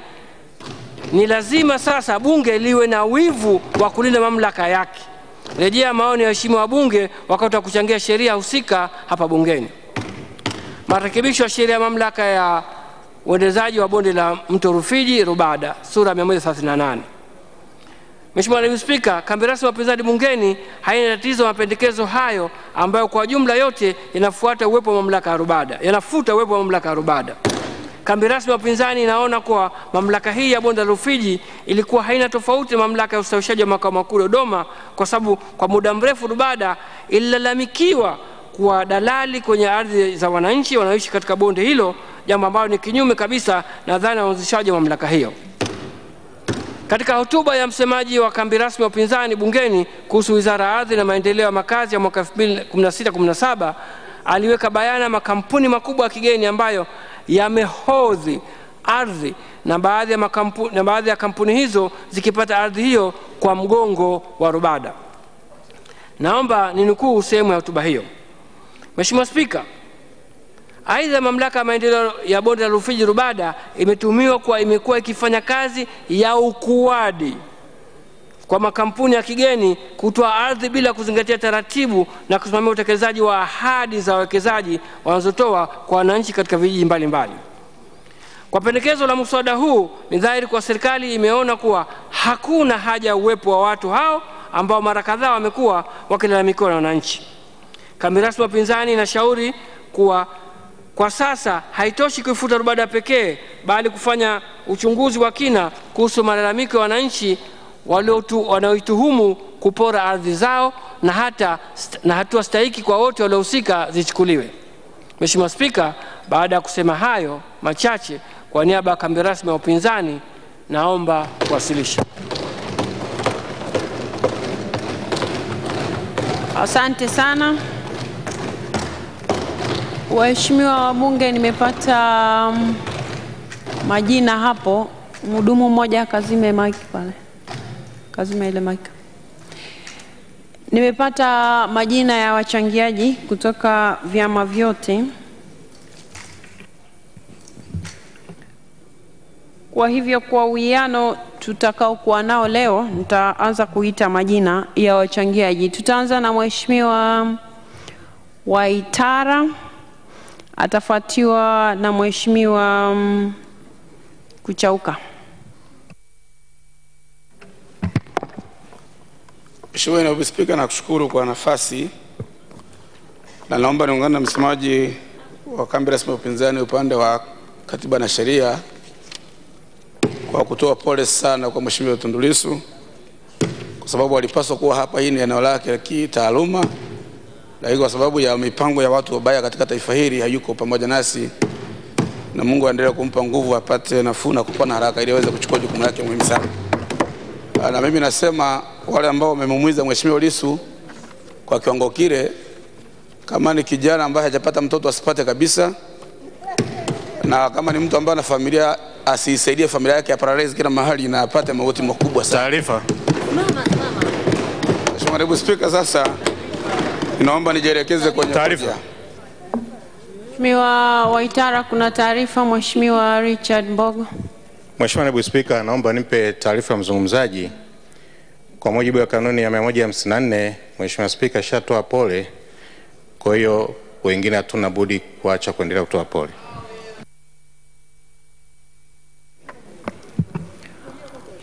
Mheshimiwa Waitara, kabla sijakuuliza kama unaikubali hiyo taarifa. Waheshimiwa Bunge, hizi kanuni tunakumbushana humu ndani kila wakati, na ili mijadala yetu iende vizuri, lazima tufuate utaratibu tuliojiwekea wenyewe. Na hapa sikutaka kukatisha hata, waso, hata wasoma hotuba, hotuba zao zote zimekuwepo na hayo mambo, na nilishakumbusha kuhusu kanuni hii tangu sasa. Tukisema kwamba tutaendelea kuvunja kanuni tulizovunja tulizojitungia wenyewe, inaleta shida kidogo. Tufuate utaratibu tuliojiwekea sisi wenyewe. Mheshimiwa Waitara. Mheshimiwa Naibu Spika, nakushukuru, naomba muda wangu ulindwe na naomba niendelee kwenye hoja. Mheshimiwa Naibu Spika, mimi hoja yangu ya kwanza iko pale kwenye mabadiliko katika sheria ya elimu, na mimi nilikuwa nataka nitoe tu ushauri kwamba ni kweli kwamba kama sasa hivi kabla ya marekebisho yajaja bungeni, kumekuwa na malalamiko mengi sana ya wamiliki wa shule na vituo vya kulelea watoto, hata vile vya watu binafsi. Kuna masharti mengi sana na mzunguko mrefu kweli kweli, ambapo vivyo inapelekea sura kama kuna mazingira ya rushwa rushwa hivi. Masharti yaliyopo kwa watu kumiliki shule binafsi ni makubwa kuliko shule za serikali. Kwa hiyo ningeshauri wizara hii ya elimu na waziri mwenye dhamana ajielekeze kusimamia shule za serikali ziwe bora zaidi. Hizi za private za kufa zenyewe tu, kwa sababu wananchi walio wengi maskini wanategemea hizo shule za serikali kwa sababu ni bei nafuu zaidi. Hilo ni jambo la kwanza. Jambo la pili, masharti yale yaliyotolewa lazima masharti ya kuanzisha vituo vya kulea watoto wadogo na wale wenye miaka miwili mpaka miaka mitano vizingatie pia maeneo mahusia, kwa sababu nategemea kuna mtu ana eneo dogo namtaka awe na, ekari saba ndo awe na, na kituo hicho, kitu ambacho kwa kweli hakiwezekani. Mazingira sheria zifuatwe, mazingira yatofautiane kutoka eneo na eneo kulingana na upatikanaji pia wa ardhi. Hilo ni jambo la kwanza, Mheshimiwa Naibu Spika. Jambo la pili ni hili habari ya, ya DAWASA. Una bahati nzuri, mimi ni mbunge kutoka Ukonga, kwa maana Dar es Salaam ni waathirika wakubwa wa eneo hili. Kwanza, Mheshimiwa Naibu Spika, kuna mkanganyiko mkubwa kati ya DAWASA, DAWASCO na halmashauri zetu. Nadhani hata kabla ya kuleta sheria ni muhimu mkaangalia ishu hapa, sio kuongeza majukumu ya DAWASA. Swala la msingi, miradi ambayo DAWASA wameanzisha haijakamilika mingi, shughuli ambazo wamepewa hazijakamilika. Kwa kuna mwingiliano mkubwa wa, wa, wa, wa, wa, wa mamlaka hizi tatu kwamba kuna miradi ipo ya DAWASA, kuna miradi ipo ya DAWASCO na kuna shughuli ambazo zinafanya halmashauri zetu. Kwa hiyo lazima kuwa na, na, na utaratibu mzuri ambao kimsingi jambo likianzishwa liwe limemalizika. Lakini lingine ni hii habari ya, ya, ya, ya miradi mbalimbali iliyopo ambao watu wamesha kula fedha. Kuna miradi mingi sana ilianzishwa imekufa, watu wanakula fedha, hawawajibishwi wachukulie hatua mbalimbali. Sasa maana yake ni kwamba tunaendelea kukosa maji katika Dar es Salaam, lakini imetolewa hoja hapa ya kambi ya upinzani kwamba maji taka Dar es Salaam ni shida kubwa. Kwa mvua ikinyesha dakika mbili tu kila mahali panafurika, na wananchi ambao sio starabu ndio wanatumia muda huo kwenda kufungulia maji machafu kuingia mtaani. Kwa hiyo tunaugua, si kwa sababu kila Jumamosi wafunge maduka. Na labda niseme vizuri, waziri wa sijui kama, kama waziri hata wa, wa, wa fedha ameshafuatilia ili jambo la kufunga maduka Dar es Salaam. Kwa kweli kwetu ni shida kubwa kweli kweli. Hivi unatumia akili gani? Kwa sababu mwananchi mama, mama lishe yule baba lishe anafungua asubuhi ana dasbini pembeni, amepika chapati, ni siku ya Jumamosi, watu wanaweza kanua mandazi yao chapati zao muda ule, unamwambia funge mpaka saa nne, na watu wafanye usafi kwao, wanafunga maduka hata ya dawa. Sasa kama umepata shida usiku, umeugua, unahitaji huduma ya, ya, ya dawa, unaambiwa duka lazima lifungwe. Hilo duka sio chafu. Kwa nini asiangalie mtu ambaye kweli ni mchafu ndio wajibishwe? Lakini hii ni amri ambayo tumejaribu kuangalia, sio imeandikwa kwenye sheria gani. Sasa wanasheria mkuu wa serikali tusaidie mambo kama haya. Unapata mabadiliko, hata kauli za viongozi ambazo hazipo kwenye sheria yoyote katika nchi hii, leta tuonyeshe kuingiza kwenye sheria kama ni lazima, ili basi mtu akisoma, wananchi wanaenda wanaangalia hivi imeandikwa wapi.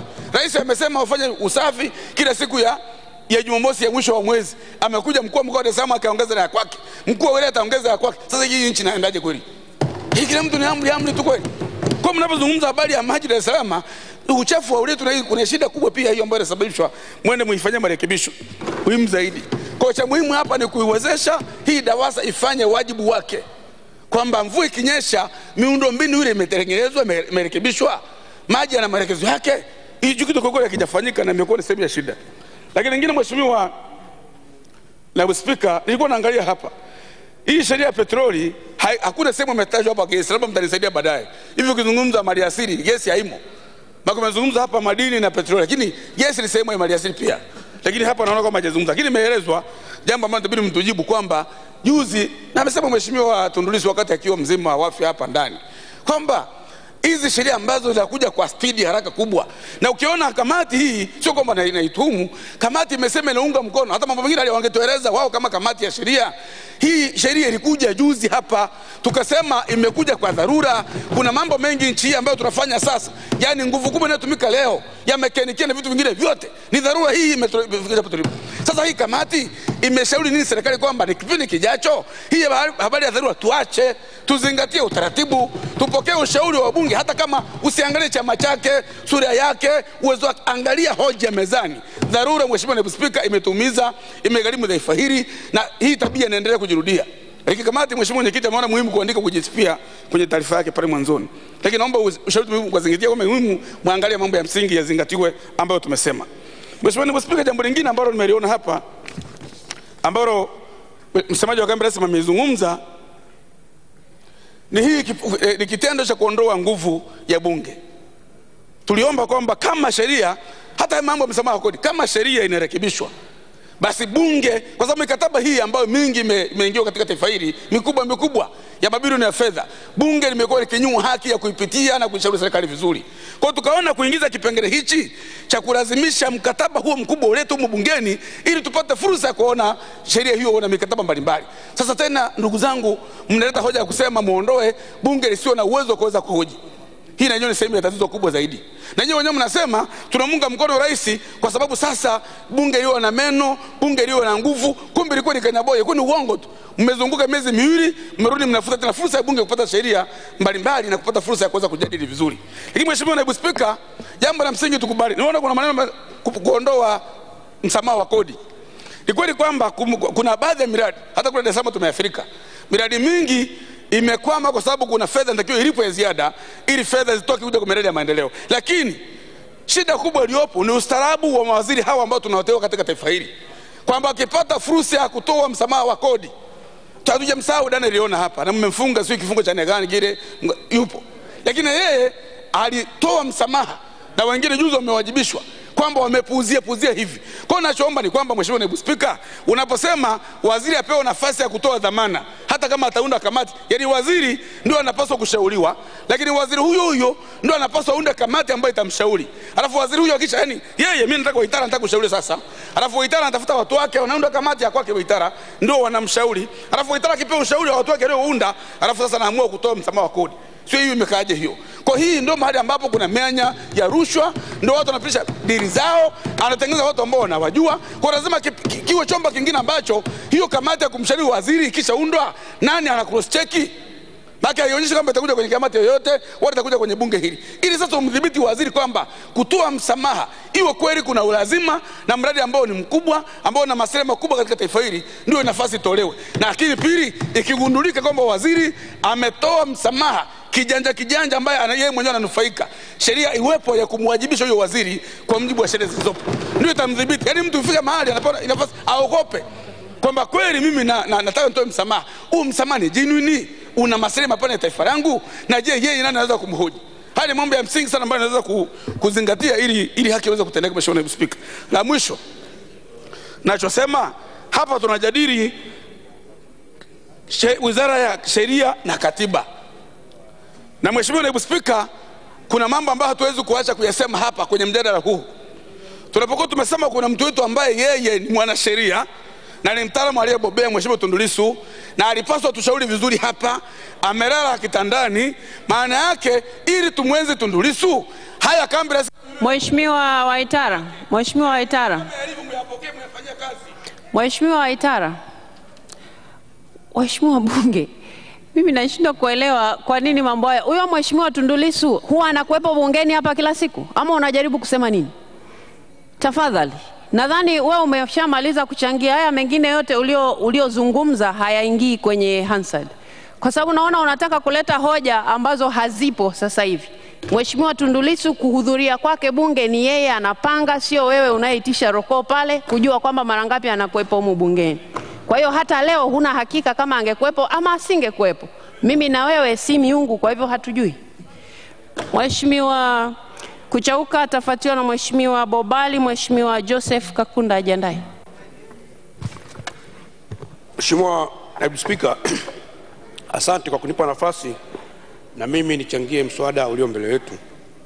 Awali yote, napenda nitoe utangulizi kama ambavyo mswada huu unavyosema ni marekebisho ya sheria mbalimbali, lakini nataka tu niombe niwape tahadhari waheshimiwa wabunge kwamba moja ya majukumu yetu makubwa ni kutunga sheria, na tunapoifanya kazi hii, mimi ningependekeza kwamba tuwe makini, kwa maana kwamba tuache mitazamo yetu ya vyama, tuangalie ni nini wananchi wametuleta hapa tufanye.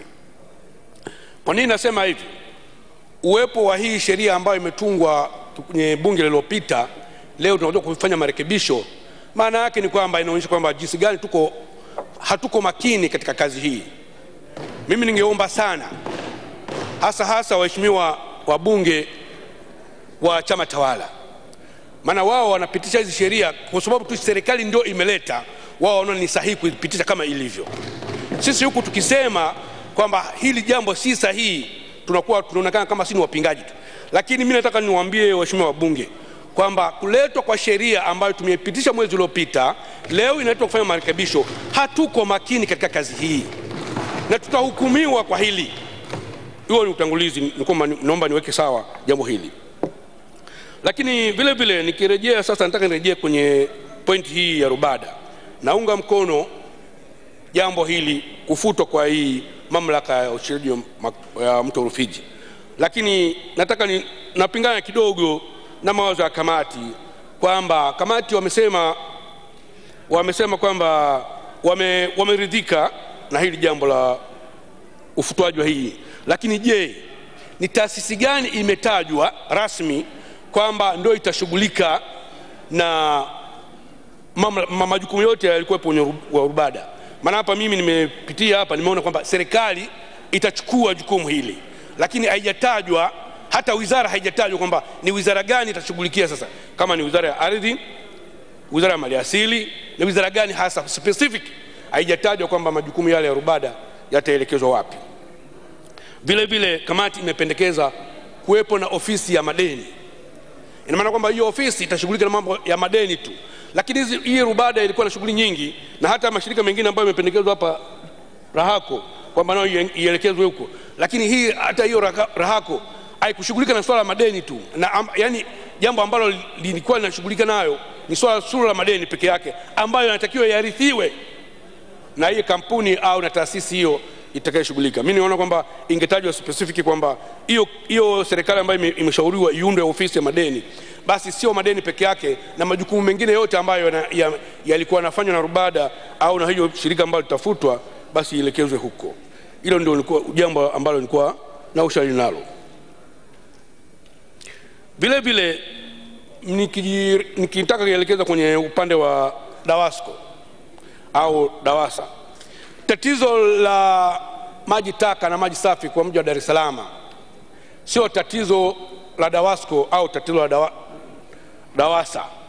Hili ni tatizo la wizara nzima, kwamba ni uma, tuko makini kiwango gani katika kuipatia fedha au kufanya utaratibu ili twende na wakati, kwa sababu jiji la Dar es Salaam lina, mwongezeko wa watu siku hadi siku, lakini uh, wizara ina mikakati gani? Kwa sababu solution pekee, kwa nini DAWASCO imeshindwa kutekeleza majukumu yake?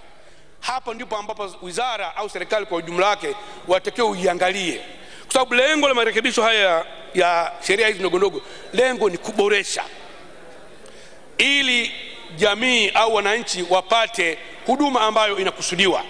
Sasa unapokwenda kufanya kuongezea majukumu DAWASCO ukaona kama ndio, ndio solution pekee badala ya kuangalia kwa nini tumefeli katika, katika nyanja hiyo, mi nafikiri hili sio jambo sahihi zaidi. Mi nafikiri kwamba DAWASCO kama DAWASCO badala ya kuiongezea majukumu kama ambavyo vimetajwa hapa, mi nafikiri kwamba ipo haja sasa pengine hata kutengeneza taasisi nyingine ambayo itahusika moja kwa moja na masuala haya ya maji safi na maji taka kwa jiji la Dar es Salaam. Kwa muktadha huo, nilikuwa sina mambo mengi sana zaidi zaidi tu, napenda tu kusema kwamba naunga mkono mia kwa mia maoni ya kambi rasmi ya upinzani, tuyazingatie na mara zote na, nataka nirejee, waheshimiwa wabunge, mjue kwamba jukumu letu ni kutunga sheria. Hii mambo ya dharura, mambo ya hati ya dharura hayatatufikisha popote, na sana sana yatatuondolea umakini wetu. Asante sana Mheshimiwa Bobali, atafuatiwa na Mheshimiwa Joseph Kakunda.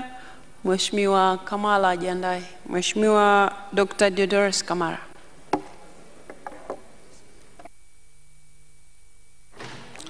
Mheshimiwa Naibu Spika, nakushukuru.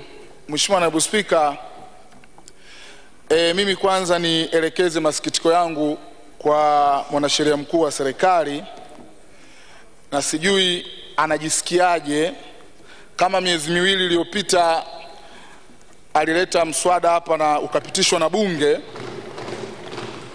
leo anauleta tena kuja kurekebisha. Na Mheshimiwa Naibu Spika, wako wabunge wenzetu waliteuliwa kuwa mawaziri miaka iliyopita wakakosewa wakakosea kidogo tu, inawezekana walishauriwa vibaya na wanasheria, leo wako matatani. Kwa nini huyu huyu mwanasheria mkuu wa serikali na yeye asiwajibishwe? Ameaibisha serikali, umeaibisha serikali, lakini pia unaleta sheria ambazo zinakuja kuja, kuja contradict na sheria zingine ambazo zinakuja baadaye. Mimi naamini sheria hizi zote ambazo zinaletwa huku zinapitia mezani kwako, unazipitia. Mheshimiwa Bobale, zungumza na kiti. Spika, mimi naamini kwamba mwanasheria mkuu wa serikali anazipitia. Wiki iliyopita hapa tulikuwa tunapitisha Songo Conve- Convention na ibara ya kumi na tatu tatu ilikuwa ina contradict na sheria ambayo tumeipitisha hapa miezi miwili iliyopita ya sovereignty of state na sheria ile mwanasheria mkuu wa serikali Mheshimiwa Naibu Spika, wakati ana, anaipresent hapa aliitetea sana, akasema na huu ndo utaratibu mzuri wa kulinda rasilimali na mali asili za nchi yetu. Leo ikaletwa hapa Songo Convention tukaipitisha, lakini ndani yake ina ibara ya kumi na tatu tatu inayosema kwamba usuluhishi utakwenda kufanywa na sadeki alikadhalika leo imekuja kuwa tena vile vile. Kwa hiyo Mheshimiwa Naibu Spika, kwangu mimi naona kama na- na- mwanasheria mkuu wa serikali ajitathmini kwa namna gani anaishauri serikali. Mheshimiwa Naibu Spika, nikubaliane sana na pendekezo la kuifuta RUBADA. Mimi nikiwa kama msemaji mkuu wa kambi ya upinzani kwenye Wizara ya Maji, mwaka jana kwenye hotuba yangu nilizungumzia, mwaka huu nikaizungumzia, hata juzi wakati nasoma maoni na mapendekezo ya kambi ya upinzani kuhusu Songwe Convention nilizungumzia namna gani RUBADA inaitia hasara taifa hili. Mheshimiwa Naibu Spika, badala ya kufanya majukumu yake Lubada ikawa madalali, watu wengi wameonge, wameongea, lakini pia sisi ambao tunapita mara kwa mara pale Rufiji kwenda Lindi na kurudi tunapatwa na wivu wa kuona kwamba kwa namna gani tunashindwa kulitumia bonde la Rufiji kuleta tija kwa taifa. Bonde lina maji, lina ardhi yenye rutuba inayostawi mazao mbalimbali mbali, lakini inafika wakati leo nchi hii tunalalamika kwamba nchi ina njaa hakuna chakula, na wale waliolima wakapata wakulima maeneo mengine wanazuiwa wasiuze kwa ajili ya kuogopa kwamba chakula ni kichache, wakati tuna bonde zuri la Rufiji lina maji, lina kila kitu, na hao watu walipewa wali, wali, waliendeleza hili bonde, lakini badala yake ukienda pale sasa hivi haukutimiwa haukuti mpunga, hauoni mahindi, utaona ng'ombe wengi wamezagaa kwenye lile bonde. Ndio kitu pekee ambacho nafikiri unaweza kuliona. Kwa hiyo Mheshimiwa Naibu Spika, ili naunga mkono, lakini Mheshimiwa Naibu Spika, naona hapa kuna sheria ya, marekebisho ya sheria ya petroli na madini. Najiuliza na wakati wengine napata shida, labda inawezekana haya yanaletwa leo kutokana na hizi shughuli zilizofanyika mwezi mmoja miezi miwili ya mambo ya makinikia eh, mambo haya ya tu, tu, hizi tume za mheshimiwa spika na kadhalika. Inawezekana leo akatokea mtu akaja akatuambia makapi ya mpunga ni dawa, tutakuja kutungia sheria hapa azifu kwamba hatu, hatu, hatu, hatu, hatu predict au hatuwezi kufocus mbele, yanakuja tunakwenda kwa matukio. Mheshimiwa Rais akitoa hoda namna hii inaletwa sheria kuja kubadilishwa. Mheshimiwa Rais akileta hoda nyingine italetwa sheria tena kuja kubadilishwa. Kwa hiyo tunakwenda kulingana na namna ambavyo matukio yanavyotuongoza. Mheshimiwa Naibu Spika, utaratibu mzuri wa taifa ambalo tunataka kuendelea ni utaratibu wa kufocus mbele, tutunge sheria ambazo zita survive miaka ishirini, miaka hamsini, miaka mia moja. Mheshimiwa Naibu Spika, nakushukuru sana. Asante sana Mheshimiwa Joseph Kakunda, atafuatiwa na Mheshimiwa Dr. Diodorus Kamara. Mheshimiwa Omar Mgumba ajiandae. Mheshimiwa Naibu Spika, nakushukuru kwa nafasi hii. Mimi naomba nijielekeze kwenye kuchangia kuhusu DAWASA na RUBADA. Mheshimiwa Naibu Spika, serikali ilipoanzisha DAWASA ilianzisha kama mkakati wa kuhakikisha kwamba ile sheria ya zamani ya NUA inaboreshwa. Na ikaanzishwa DAWASA Dar es Salaam na katika miji mingine ikaanzishwa ma, zikaanzishwa mamlaka za maji mijini, na mamlaka za maji mijini kwa kweli nazipongeza, zinafanya kazi nzuri sana, na hata DAWASA yenyewe nawapongeza, isipokuwa miaka michache baada ya kuanzishwa DAWASA ilikuja wazo kwamba ni vizuri kukawa na DAWASA alafu kukawa na watu watoa huduma wengine ambao watapangishwa miundombinu. Kwa hiyo ikaja wazo la kwamba tuwe na kampuni binafsi ambayo itakuwa inatoa huduma za maji katika jiji la Dar es Salaam, na hapo ndo tuliingia mkataba na City Water, Dar es Salaam City Water Services.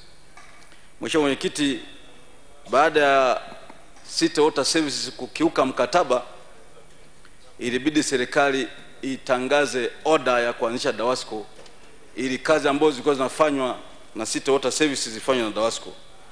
Kwa hiyo DAWASCO ilianzishwa by order, na kwa sheria hii marekebisho yaliyoko hapa kwenye iliyowasilishwa leo, Mheshimiwa Naibu Spika, maana yake ni kwamba DAWASCO inakufa na shughuli zake zote zinahamia DAWASA kama idara.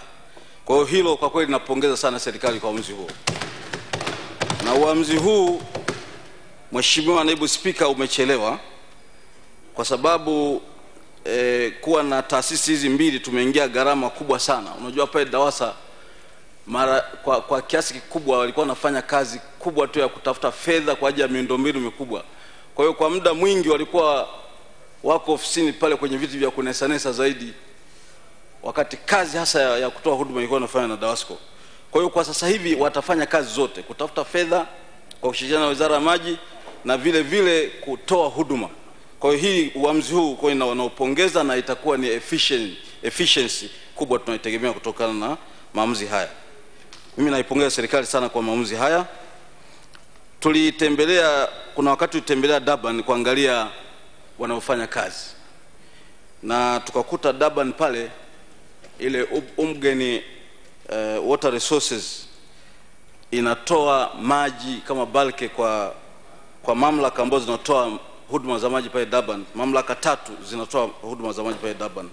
Mimi nilikuwa napendekeza katika mpango huu ambao tunauanzisha leo tukipitisha hapa ni kwamba kanda za DAWASA ambazo zipo sasa hivi ni kanda za, za, za DAWASCO ziimarishwe hizo ofisi kama ambavyo TANESCO wameimarisha kanda zao, ili kusudi maamuzi mengi na usimamizi mwingi ufanyike kule kwenye kanda baada ya kufanyika makao makuu.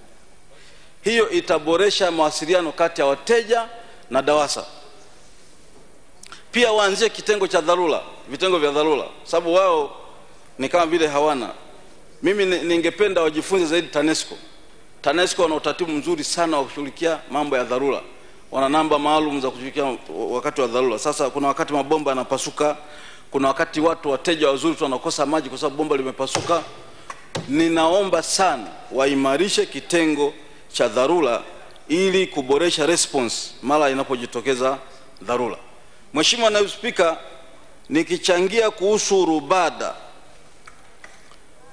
Mheshimiwa Naibu Spika, RUBADA ilianzishwa kama taasisi baada ya uamuzi wa kuwa na baada ya uamuzi wa kutekeleza au uamuzi wa kujenga mradi wa Stiglas Gorge.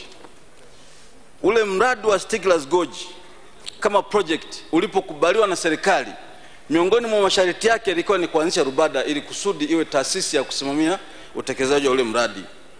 Sasa bahati mbaya sana, bahati mbaya sana RUBADA ilipoanzishwa ikawekwa chini ya Wizara ya Kilimo na mradi wenyewe kitaalam ulitakiwa uwe chini ya Wizara ya Nishati na Madini, kwa sababu Mheshimiwa Naibu Spika, bahati nzuri hiyo ni kengele ya kwanza.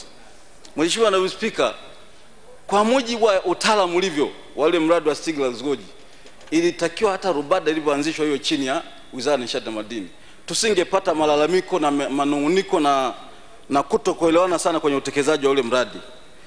Lakini kwa sababu sasa serikali imeamua kuhamishia ule mradi wa Stiglas Gorge kwenye Wizara ya Nishati na Madini, kwa hiyo maana yake ni kwamba ile RUBADA inakuwa imekosa ile root of origin, kwa hiyo inakufa kifo cha, cha kawaida.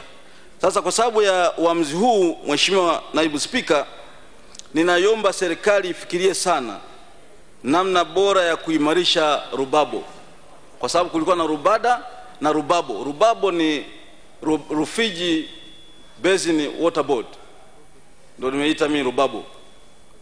Sasa hii Rufiji Water Basin eh, Board na Rubada zilikuwa zinafanya kazi kwenye bonde lile lile, na wakati mwingine walikuwa wanatekeleza majukumu yanayofanana.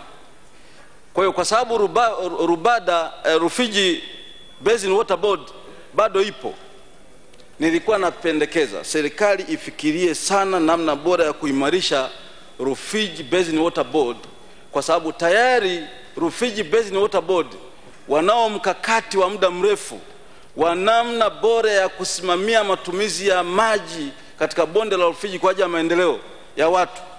Nilikuwa napendekeza sana wakati watapokuwa na, wanaf, wanafanya mgawanyo wa mali na madeni ya Rubada wazingatie sana namna ya kuimarisha Rufiji Basin Water Board au bodi ya maji ya bonde la mto Rufiji ili kusudi bodi hii ya, ya bonde la maji ya mto Rufiji iweze kufanya kazi yake vizuri vizuri zaidi. Mheshimiwa Mwenyekiti, Mheshimiwa Naibu Spika, nashukuru sana, asante sana. Diodorus, Dr. Diodorus Kamala atafuatiwa na Mheshimiwa Omar Mgumba. Mheshimiwa Naibu Waziri wa Maji na Umwagiliaji ajiandae.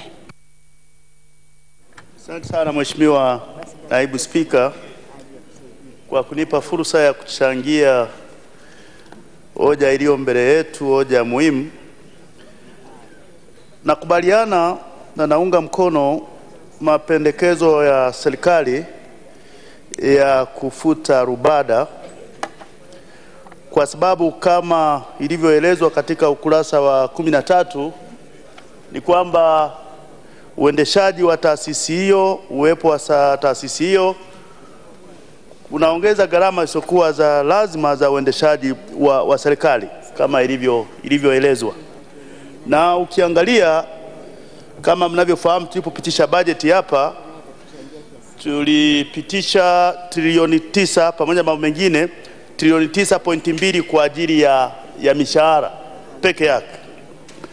Sasa kama tunatumia trilioni tisa pointi mbili kwa ajili ya mishahara peke yake, maana yake sehemu kubwa ya bajeti inaelekezwa huko. Maana yake sasa se, ukubwa wa serikali umepanuka mno, na ndiyo maana jitihada nyingi ambazo zimefanyika za kuondoa wafanyakazi hewa na mambo mengine, lakini bado tu tunajikuta e, tunahitaji trilioni saba pointi mbili na huenda ikaongezeka siku hadi siku. Kwa hiyo uamuzi huu wa serikali wa kuondoa Rubada kwa sababu taasisi nyingine zilizopo za kiserikali zinaweza kufanya kazi hii iliyokuwa ikifanywa na Rubada, ni vizuri tukamulika na maeneo mengine.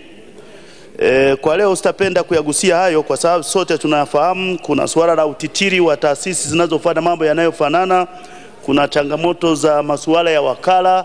Yote haya yaangaliwe kwa upana wake ili tuone zile taasisi ambazo zipo lakini hazina tija, basi tuziondoe na shughuli hizo ziweze kuendelea kufanywa na serikali, tupunguze matumizi yasiyokuwa ya lazima. Kwa hiyo naunga mkono uamuzi wa kuondoa Rubada. Sina shaka shughuli hizo zitaweza kufanywa na watu wengine. Labda angalizo tu ni kwamba tunapoondoa Rubada, zile mali zilizokuwa chini ya Rubada lazima tuwe makini ili isije ikawa Rubada imeondoka na mali zikaondoka, kwa sababu kwenye transition ya kipi kilikuwa chini ya Rubada sasa kitaenda wapi, tusipoangalia basi mambo mengi yanayoweza yakaendelea hapo hapo katikati. Hoja nyingine ni kuhusu eh, kumpa uwezo Mheshimiwa Waziri wa Fedha kuhusu masuala ya kutoa eh, misamaha hasa kwa miradi ambayo tunapata fedha ya wahisani na makubaliano kati ya serikali yetu na wahisani mbalimbali. Ni jambo muhimu kwa sababu unapokuwa una, una, una, unasema mradi fulani ulipe ulipe eh, kodi lakini fedha hizo ni za mradi na tumepata sehemu ya fedha hizo kutoka kwa wahisani, maana yake unakuwa unawatoza walipa kodi wa ile nchi ambayo umepata fedha hizo kwa ajili ya miradi yako ya maendeleo, si jambo jema. Kwa hiyo uamuzi wa serikali wa kuliona hilo ni, ni, ni jambo jema, tumerudi kwenye mstari. Kwa hiyo naunga mkono hoja hiyo kwa sababu itasaidia kuongeza moyo wa wahisani kutusaidia, lakini pia itapunguza gharama za miradi, lakini pia itaharakisha utekelezaji wa miradi yetu ya maendeleo na tutaweza kuelekea kwenye Tanzania ya viwanda kwa kasi zaidi. Kwa hayo machache, naunga mkono hoja kama ilivyowasilishwa. Mheshimiwa Omar Mgumba atafuatiwa na Mheshimiwa Naibu Waziri wa Maji na Umwagiliaji. Mheshimiwa Waziri wa Elimu, Sayansi na Teknolojia ajiandae. Nashukuru sana Mheshimiwa Naibu Spika, nami kupata nafasi kutoa mchango wangu katika hoja iliyoko mbeleni kwetu. Mheshimiwa Naibu Spika, kwanza nijielekeze kwenye RUBADA. Nichukue nafasi hii kuipongeza sana serikali kwa kuleta mswada huu hapa bungeni ili ufanyiwe maboresho ili lengo hata madhumuni ya kuanzisha ile RUBADA yaweze kutimia. Na niseme tu kwamba kama nakubaliana na wabunge wengine, kazi ya wabunge ni kutunga sheria, lakini hizi sheria tunatunga sisi binadamu. Binadamu hamna aliyekamilika, na ndio maana tunatunga tukiona kuna mapungufu, ni halali serikali ilete hapa tufanye marekebisho ili iwe na tija ile tuliyokusudia. Kwa hiyo serikali, msife moyo mkiona kuna makosa yoyote. Kutunga hii sio kwamba Biblia au msahafu kwamba haubadiliki. Wakati wowote kwenye hitaji hiyo iletwe, sio ndio kazi yetu hii. Tumeomba miaka mitano, hamna kazi nyingine, ni kutunga sheria. Lakini pia niunge sana serikali mkono kwa ajili ya kubadilisha hii hii sheria ya RUBADA. Kwa kweli kama walivyosema wenzangu, RUBADA walikuwa waliacha jukumu lao la msingi kwa ajili ya kuendeleza bonde la mto Rufiji, sasa wakawa madalali kwa ajili ya kukamata wawekezaji na, kuwata, na kuwatafutia ardhi kwa njia ambazo sizo halali. Mheshimiwa Naibu Spika, nitoe mfano halisi kabisa. Kuna kampuni ambayo ya uwekezaji ya kiwanda cha sukari inaitwa Morogoro Sugar imekuja kuomba ardhi kupitia RUBADA ndani ya bonde hilo la Rufiji, ambao bonde la mto Rufiji maanake linakuja mpaka kule Morogoro vijijini, hususan Kisaki, Mkulazi na sehemu nyingine. Huu ina zaidi ya mwaka wa pili hawajapata ardhi. Sababu ni nini? Walienda RUBADA wakalipa hela zaidi ya dola elfu arobaini RUBADA wakaweka mfukoni, alafu RUBADA kwa hila wakaja kijijini kule kwetu wanahamasisha wananchi na serikali za vijiji itenge ardhi kwa ajili ya uwekezaji. Vijiji tukatenga hiyo ardhi kwa ajili ya uwekezaji, tunajua tutapata mwekezaji. Badala yake RUBADA wakija wanatumia nguvu kubwa kulazimisha kwambia hii ardhi wanawapa bure bila makubaliano yote na kijiji, wakati wao wameshavuta. Matokeo yake mpaka leo ile kampuni haijapata hiyo ardhi mpaka pale walipojitambua kuanza kurudi kufuata taratibu na sheria na kukutana na vijiji husika kwa ajili ya kupata ridhaa ya kupata ardhi hiyo. Kwa hiyo naunga mkono hii wazo la serikali kuifuta kabisa hii RUBADA ambayo sasa ije mamlaka nyingine, tunaweza kuendeleza bonde letu la mto Rufiji kwa faida ya taifa letu. Lakini pia ni shauri serikali katika hili, kuna wengi ambao walinufaika kupata ardhi kupitia RUBADA. Hata hao wawekezaji walionufaika kupata eh, ardhi kupitia RUBADA hawajaziendeleza ardhi hizo badala yake walitumia ardhi hiyo kwenda kukopea kwenye mabenki mbalimbali na kufanyia biashara nyingine tofauti na lengo halisi walizokubaliana na RUBADA. Ni shauri serikali katika hili, pamoja na kuvunja na kuhamisha majukumu haya ya RUBADA kwenye taasisi nyingine au wizara nyingine, kupitia mikataba hii kwa wale wawekezaji wachache ambao walipata ardhi kupitia RUBADA, tuone kama walitimiza yale masharti na makubaliano waliokubaliana kwa ajili ya kuendeleza ile ardhi, kwa sababu tuna ardhi kubwa imeachwa kuanzia Morogoro vijijini mpaka Kilombero huko, haijaendelezwa kwa kisingizio kwamba hii ardhi inamilikiwa na mwekezaji ambaye amepata RUBADA na hati kila kitu, baadaye wakulima na wananchi wa wengi hawana ardhi ya kuendeleza. Ni vizuri serikali ikapitia mikataba hiyo, tuone ardhi hizo ambazo haijaendelezwa, taratibu za kisheria zifuatwe. Kama wamekiukwa, ni kuitoa ardhi hiyo rudi serikalini, ikapewa mamlaka hiyo mpya, ili kwa ajili ya kuendeleza ardhi hii kwa manufaa ya wananchi wa Tanzania, badala ya wenzetu hao wametumia kwenda kukopa na kuendeleza biashara zao ambazo hazina malengo na tija kwa taifa hili. Mheshimiwa Naibu Spika, la pili nilijielekeze kwenye swala la transit goods kuhusu masuala ya VAT. Ambayo mimi nakubaliana na maoni ya kamati ya, sheri, ya katiba na sheria kuhusu ni vizuri kwamba tukaongeza muda. Muda wa siku thelathini huu ni mchache sana. Hauendani na muda wa wapinzani wetu kama kule south africa wana siku mia themanini mozambiki wana siku tisini. Sasa hii inawezekana sasa hivi tuko kwenye ulimwengu wa kibiashara. Ikawakimbiza watumiaji na wadau wengi wa bandari yetu ya dar es salaam kukimbilia hizi bandari zingine kwenda kutumia kwa sababu ya muda mchache huu ambao tumeuweka. Niombe sana serikali waangalie hili kama kuna uwezekano tuongeze muda kwa ajili ya mizigo inayoenda nchi zingine ili iwe kivutio kwa watu wengi kuitumia bandari yetu. Mheshimiwa naibu spika leo nilikuwa na hayo machache naunga mkono hoja. Asante sana Asante sana Mheshimiwa Naibu Waziri wa Maji na Umwagiliaji, atafuatiwa na Mheshimiwa Waziri wa Elimu, Sayansi na Teknolojia. Mtoa hoja ajiandae.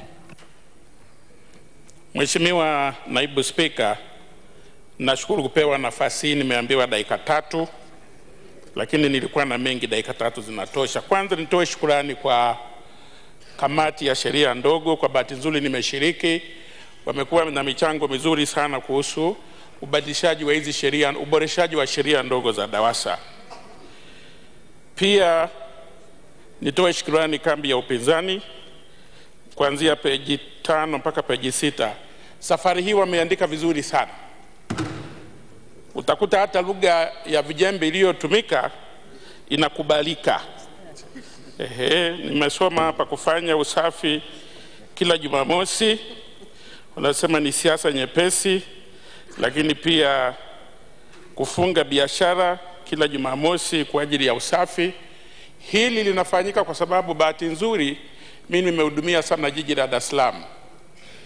Kuna mifereji ya maji ya mvua mikubwa sana iko kule chini, lakini Dar es Salaam population imeongezeka. Wakati huo kilikuwa kijiji, ikaji ikawa mji, ikawa jiji. Tusipozuia manailoni, makaratasi, takataka zile ngumu zitakwenda kujaza kule. Ndiyo maana sasa hivi tumeanzisha na utaratibu kwamba tukusanye zile takataka ili zibebwe, zikatupwe, zichomwe mahala maalum, zisiendelee tena kuzuia mifereji iliyoko huku chini. Jingine ni kuhusu wabunge wamechangia suala la DAWASA na DAWASCO. Kubwa ni kwamba mbunge wa Itara amesema kwamba wakati tunafanya mabadiliko ya sheria ndogo DAWASCO, kuna miradi mingi ambayo wameianzisha hawajaikamilisha. Hatuvunji DAWASCO, DAWASCO ipo, DAWASA ipo.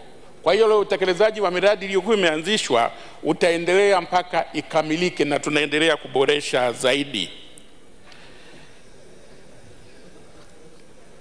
Lakini pia katika hili suala la eh, maji ya mvua, kwamba mvua ikinyesha barabara zinajaa maji, maeneo ya wananchi yanajaa maji. Ni kweli kabisa kwamba miundombinu ya maji ya mvua ni michache, kwa sababu jiji la Dar Salaam population imeongezeka, majengo yameongezeka, lakini kwa sasa hivi, Mheshimiwa Naibu Spika, tumeanza kupata fedha kwa ajili ya kujenga miundombinu ya maji taka, na tayari tumesha saini, waziri wa fedha amesaini mkataba, tumepata zaidi ya dola milioni mia moja kutoka Korea. Utekelezaji utaanza. Kuna Mheshimiwa Kuchauka, umezungumzia kwamba tatizo la maji taka si tatizo la DAWASCO wala la DAWASA. Nakubaliana na wewe. Wakati ule miji yetu ilikuwa kama vijiji, hakukuwa na haja hiyo, ikaji kawa miji, haja haikuwa kubwa. Ilipofikia kuwa miji, ndo tukawa na mashirika ya maji taka. Sasa hivi limekuwa jiji. Sasa kwa sasa ndo maana tumeanza sasa, tunabadilisha sheria na kuweka hili jukumu la Kengele ya pili imegonga Mheshimiwa. Baada ya hayo machache, Mheshimiwa eh, Naibu Spika, anaunga mkono hoja.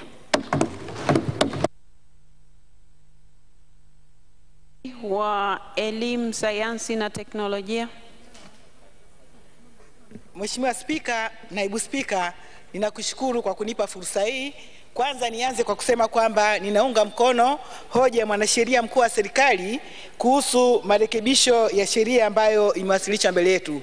Na Mheshimiwa Naibu Spika, ningependa moja kwa moja nitumie fursa hii kutoa ufafanuzi katika baadhi ya mambo ambayo yamesemwa kuhusu sekta ya elimu na swala ambalo limezungumziwa hapa ni kuhusiana na usajili wa shule binafsi na kwamba wamiliki wa shule wamekuwa na changamoto mbalimbali. Mheshimiwa Naibu Spika, nipende kusema kwamba serikali ina utaratibu wa kupokea malalamiko na tumekuwa tunayafanyia kazi kadri ambavyo yanajitokeza. Kwa hiyo kupitia fursa hii niwaambie wamiliki wa shule za binafsi kama kuna malalamiko yoyote wayawasilishe, na nitawahakikishia kwamba tutachukua hatua zinazostahiki, kwa sababu moja ya jambo ambalo limesemwa kwamba kuna urasimu na kuna dalili za rushwa. Mheshimiwa Naibu Spika, wabunge wote na wananchi wa Tanzania wote ni mashahidi jinsi serikali ya awamu ya tano inavyopambana na rushwa. Kama kuna rushwa katika sekta ya elimu, basi wahusika hawatasalimika. Tunachohitaji ni kupata taarifa ili tuweze kuzifanyia kazi. Na Mheshimiwa Spika, imesema kwamba uh, serikali iache kuangalia shule binafsi, ijikite katika kushughulikia serikali yake. Mheshimiwa Naibu Spika, niliambia bunge lako tukufu kwamba serikali haiwezi kuacha kuangalia zile shule binafsi kwa sababu zinapaswa kufanya shughuli zake kwa mujibu wa sheria, kanuni na taratibu, na ni jukumu la wizara yangu kuhakikisha kwamba wamiliki wote wa shule wanazingatia sheria, taratibu na kanuni ambazo tunajiwekea. Kwa hiyo serikali itaendelea kuzisimamia na kwa wale ambao wanakiuka taratibu, hatua dhidi yao itachukuliwa kwa mujibu wa sheria. Mheshimiwa Naibu Spika, nashukuru kwa fursa hii. Asante sana Mheshimiwa mwanasheria mkuu wa serikali.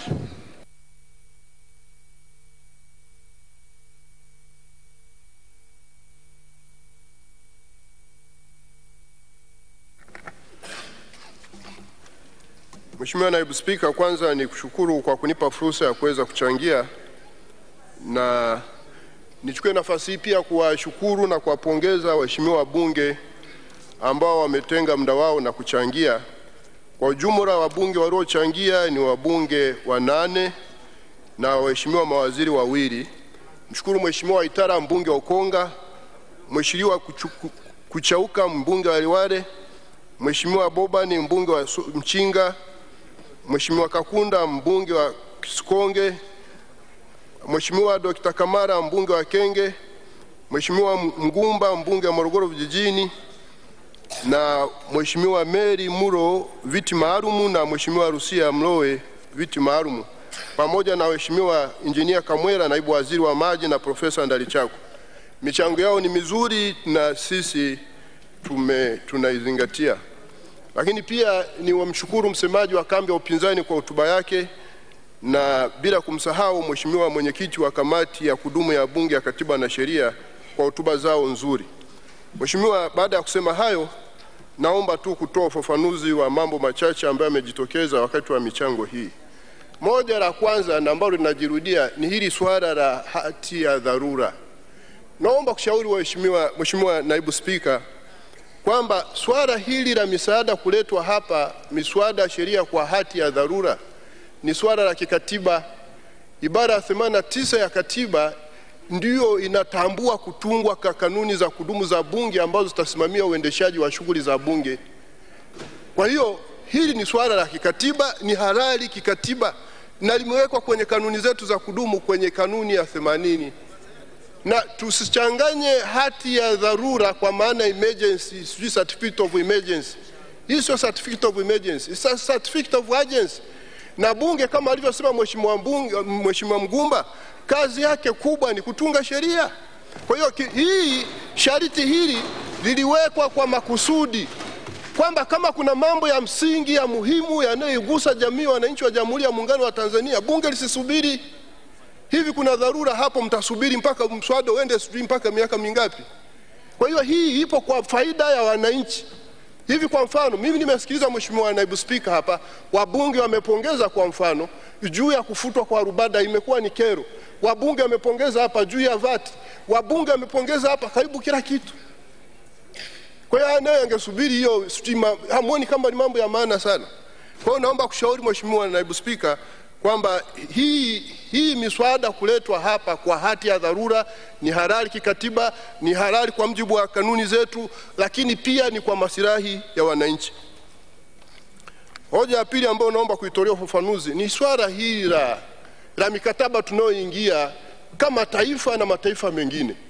Naomba kushauri Mheshimiwa Mwenyekiti kwamba taifa nalo lina legal personality katika jumuiya ya kimataifa, lina haki, lina wajibu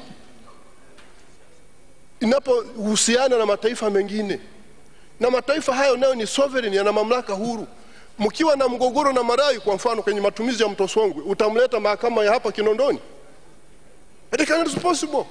Lazima mwende kwa mtu mwingine, na ndio maana hii mikataba ambayo moja tumeiridhia jana, hii ya, ya, ya bomba la mafuta na hii ya matumizi ya mto, maji ya mto Songwe inaenda kwenye usuluhishi kwa mtu mwingine. Ukimwambia Uganda kwamba aje hapa kwenye mahakama ya kwetu hata kubali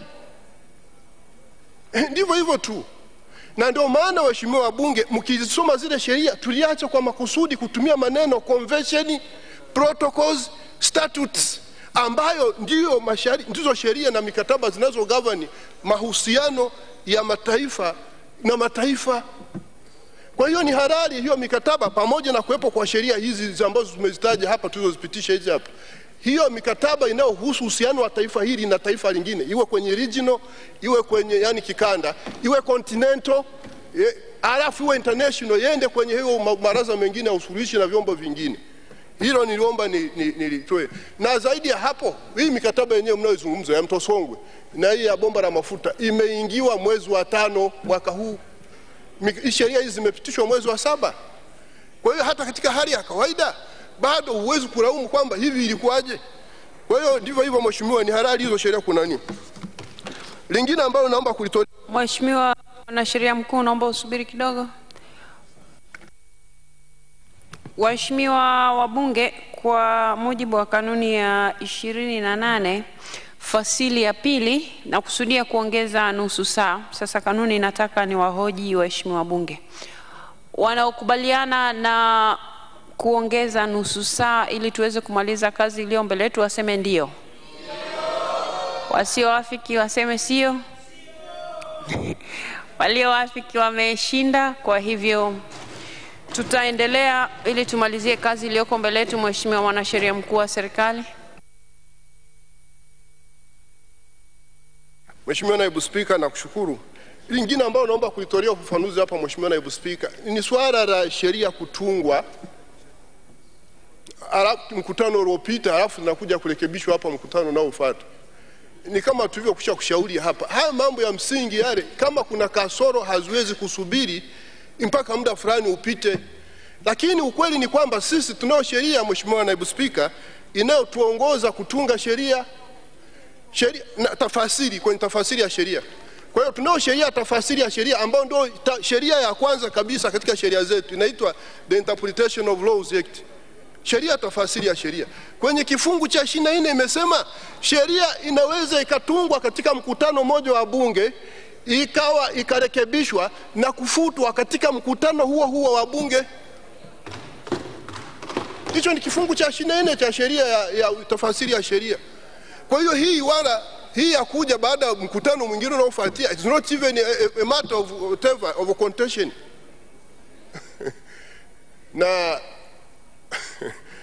kwa hiyo Mheshimiwa Mheshimiwa Naibu Spika, naomba kushauri kwamba waheshimiwa wabunge walielewe hili na na sambamba ni hilo pia niseme kwenye zile sheria za Natural Wealth and Resources Permanent Sovereignty Act of 2017 and the Natural Wealth and Resources uh, Contracts Review and Negotiation of, of Unconscionable Terms Act.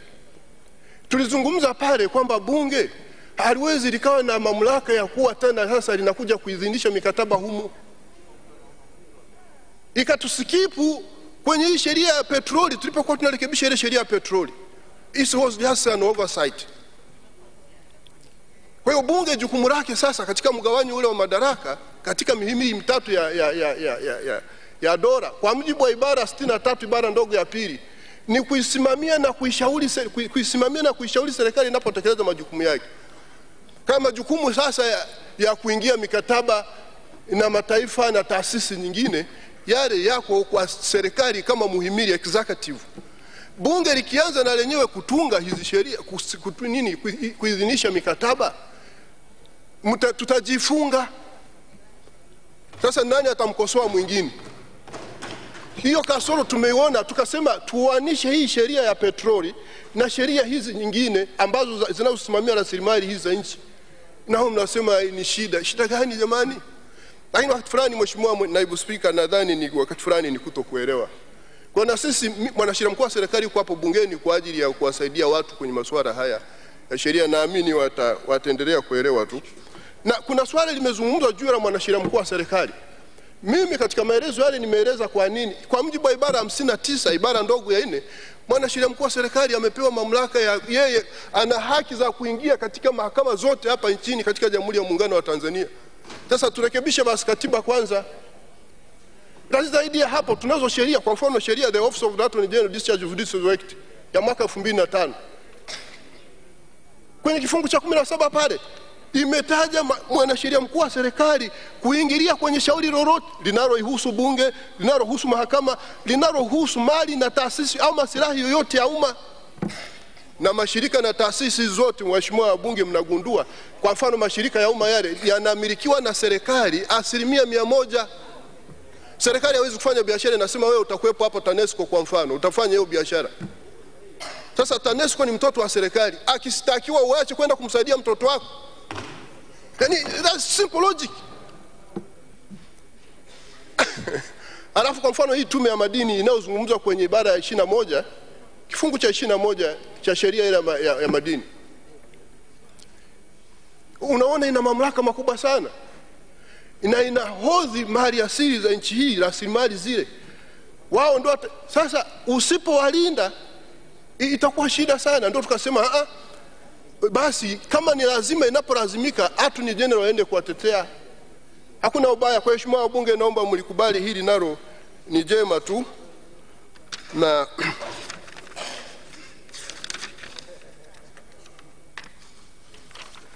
kuna mambo yamezungumzwa hapa, Mheshimiwa Mwenyekiti, na hili la Mheshimiwa Spika alikuwa amelizungumzia hapa, lakini ninajitokeza Mimi na, naomba kushauri Mheshimiwa Mwenyekiti, hii habari ya migogoro kwenye vyama vya siasa, tuna muhimili watatu wa dola, mahakama hata katika uchaguzi watu wanapofanya uchaguzi mkuu kwenye majimbo, yule anayeshindwa ambaye haridhiki anaenda mahakamani, si ndivyo tunavyofanya? Na kwenye mwaka huu sisi ofisi ya mwanasheria mkuu wa serikali, kazi kubwa kwa huwa ni kuwatetea wabunge wote wanaoshinda, haijalishi kwamba anatoka kambi ipi. Ndivyo hali halisi ilivyo. Sasa kwenye hili, kama kuna mgogoro la wabunge wa chama cha wananchi waende mahakamani. Bunge hili aliwezi kuamua nani awe mbunge nani asiwe mbunge, na nafahamu hivi ninavyozungumza kuna kesi mahakamani eh. Kwa hiyo hili ni, ni kuleta tu prokushani siokuwa na sababu za msingi kwenye chombo hiki, tukitumie chombo hiki kutekeleza majukumu yake ya msingi. Baada ya kusema hayo, Mheshimiwa Naibu Spika, nakushukuru sana kwa kunipa fursa ya kuweza kuhitimisha, na nawashukuru tena kwa mara nyingine wabunge wote mliopata fursa ya kuchangia kwenye hoja hizi. Mwenyezi Mungu aendelee kuwabariki. Naomba kutoa hoja, Mheshimiwa. Hoja imeungwa mkono, waheshimiwa wabunge. Nitawahoji baadaye baada ya kumaliza utaratibu. Katibu. eh, Kamati ya bunge zima. Kamati ya bunge zima.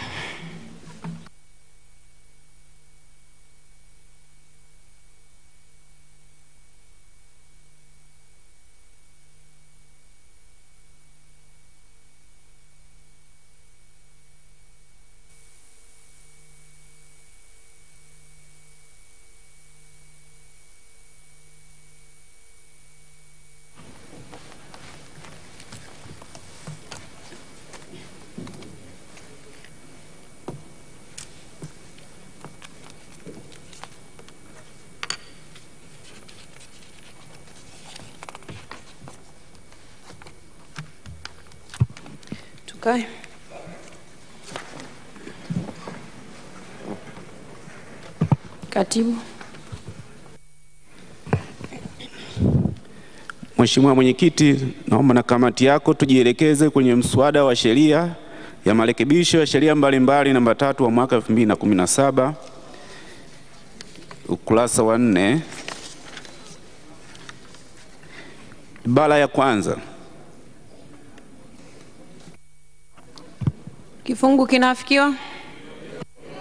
ibara ya pili Kifungu kinafikiwa. ibara ya tatu Kifungu kinafikiwa. ibara ya nne ina marekebisho ya serikali Kifungu cha nne pamoja na marekebisho ya serikali kinafikiwa. ibara ya tano Kifungu cha tano kinafikiwa. ibara ya sita Kifungu cha sita kinafikiwa. ibara ya saba Kifungu cha saba kinafikiwa. ibara ya nane Kifungu cha nane kinafikiwa. Ibara ya tisa Kifungu cha tisa kinafikiwa. ibara ya kumi na marekebisho ya serikali Kifungu cha kumi pamoja na marekebisho ya serikali kinafikiwa. ibara ya kumi na moja Kifungu cha kumi na moja kinafikiwa. ibara ya kumi na mbili Kifungu cha kumi na mbili kinafikiwa. ibara ya kumi na tatu Kifungu cha kumi na tatu kinafikiwa. ibara ya kumi na nne ina marekebisho ya serikali Kifungu cha kumi na nne pamoja na marekebisho ya serikali kinafikiwa. Ibara ya kumi na tano Kifungu cha kumi na tano kinafikiwa. ibara ya kumi na sita Kifungu cha kumi na sita kinafikiwa. ibara ya kumi na saba Kifungu cha kumi na saba kinafikiwa. ibara ya kumi na nane Kifungu cha kumi na nane kinafikiwa. ibara ya kumi na tisa Kifungu cha kumi na tisa kinafikiwa. ibara ya ishirini Kifungu cha ishirini kinaafikiwa? ibara ya ishirini na moja Kifungu cha ishirini na moja kinafikiwa. Ibara ya ishirini na mbili Kifungu cha ishirini na mbili kinafikiwa. ibara ya ishirini na tatu Kifungu cha ishirini na tatu kinafikiwa. ibara ya ishirini na nne Kifungu cha ishirini na nne kinafikiwa.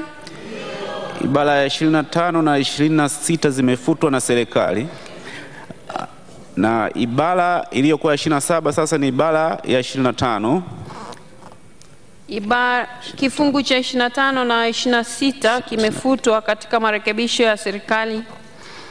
Kwa hivyo ibara ya 25 mpya pamoja na marekebisho ya serikali inaafikiwa. ibara mpya ya ishirini na sita Ibara mpya ya 26 inafikiwa. ibara mpya ya ishirini na saba Ibara mpya ya 27 inafikiwa. ibara mpya ya ishirini na nane Ibara mpya ya 28 inafikiwa. ibara mpya ya ishirini na tisa Ibara mpya ya 29 inafikiwa. ibara mpya ya thelathini Ibara mpya ya 30 inafikiwa. Ibara mpya ya thelathini na moja Ibara mpya ya 31 inafikiwa. ibara mpya ya thelathini na mbili Ibara mpya ya 32 inafikiwa. ibara mpya ya thelathini na tatu Ibara mpya ya 33 inafikiwa. ibara mpya ya thelathini na nne ina marekebisho ya serikali Ibara ya ibara mpya 34 pamoja na marekebisho ya serikali inafikiwa. Mheshimiwa Mwenyekiti, kamati ya bunge zima imemaliza kazi yake. Bunge linarejea.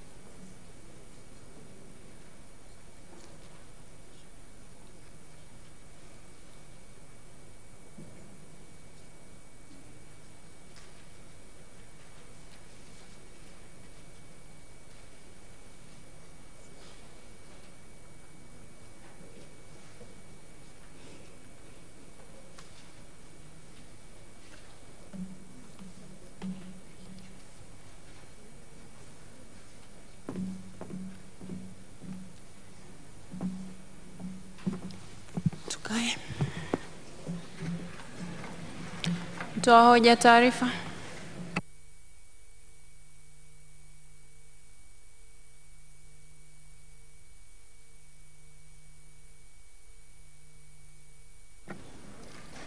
Mheshimiwa Naibu Spika, Kwa mjibu wa kanuni ya 89 ya kanuni ndogo ya kwanza ya kanuni za kudumu za Bunge toleo la Januari 2016, napenda kutoa taarifa kwamba kamati ya bunge zima imepitia mswada wa sheria ya marekebisho ya sheria mbalimbali namba tatu wa mwaka 2017 The Written Laws Miscellaneous Amendment, Amendment number 3 Act of 2017 ibara kwa ibara na kukubali pamoja na marekebisho yaliyofanyika.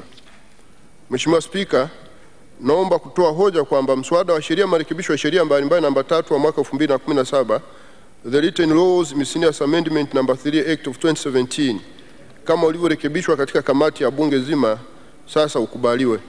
Mheshimiwa Spika, naomba kutoa hoja.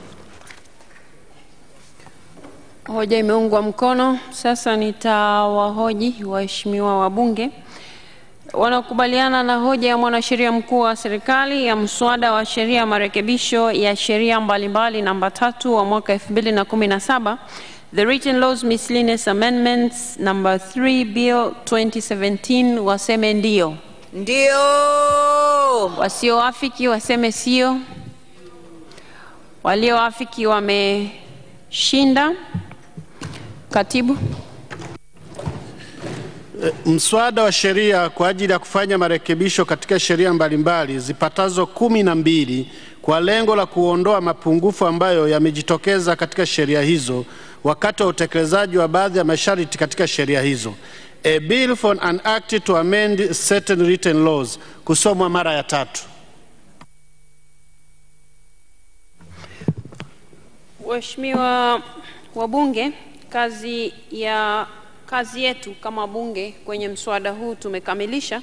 Kwa hivyo nichukue fursa hii kuwapongeza kamati kwa niaba ya bunge, lakini pia wabunge waliopata fursa ya kupitia mswada huu na kutoa maoni yao wakati wa mjadala, na pia niwapongeze upande wa serikali kwa yale mlioyaona na kuyaleta ili bunge iweze kuyafanyia kazi, na sasa tuwatakie tuwatakie kazi njema katika utekelezaji baada ya Mheshimiwa Rais kuwa ameridhia sheria hii kwa mujibu wa ibara ya tisini na saba ya katiba yetu.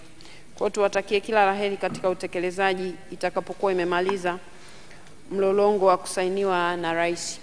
Baada ya kusema hayo, waheshimiwa wa bunge, Uh, niwaombe sana, nafahamu waheshimiwa wa bunge huwa wana majukumu mengi, ndio maana huwa hawakai humu ndani wote, lakini wale ambao hawana majukumu mengine ni vizuri wakiwepo bungeni, kwa sababu mambo yanayotokea wakati mwingine yanajirudia rudia, kwa sababu hatufuatilii ni mambo gani yanakuwa yalizungumzwa na wenzetu na yakatolewa miongozo na viongozi wetu.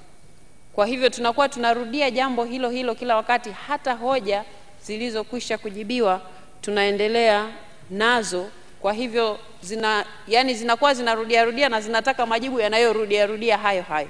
Kwa hiyo tunakuwa sisi wenyewe tunajipotezea ule muda wetu adhimu wa kufanya shughuli nyingine. Baada ya kusema hayo, naahirisha shughuli za bunge mpaka siku ya kesho saa tatu asubuhi.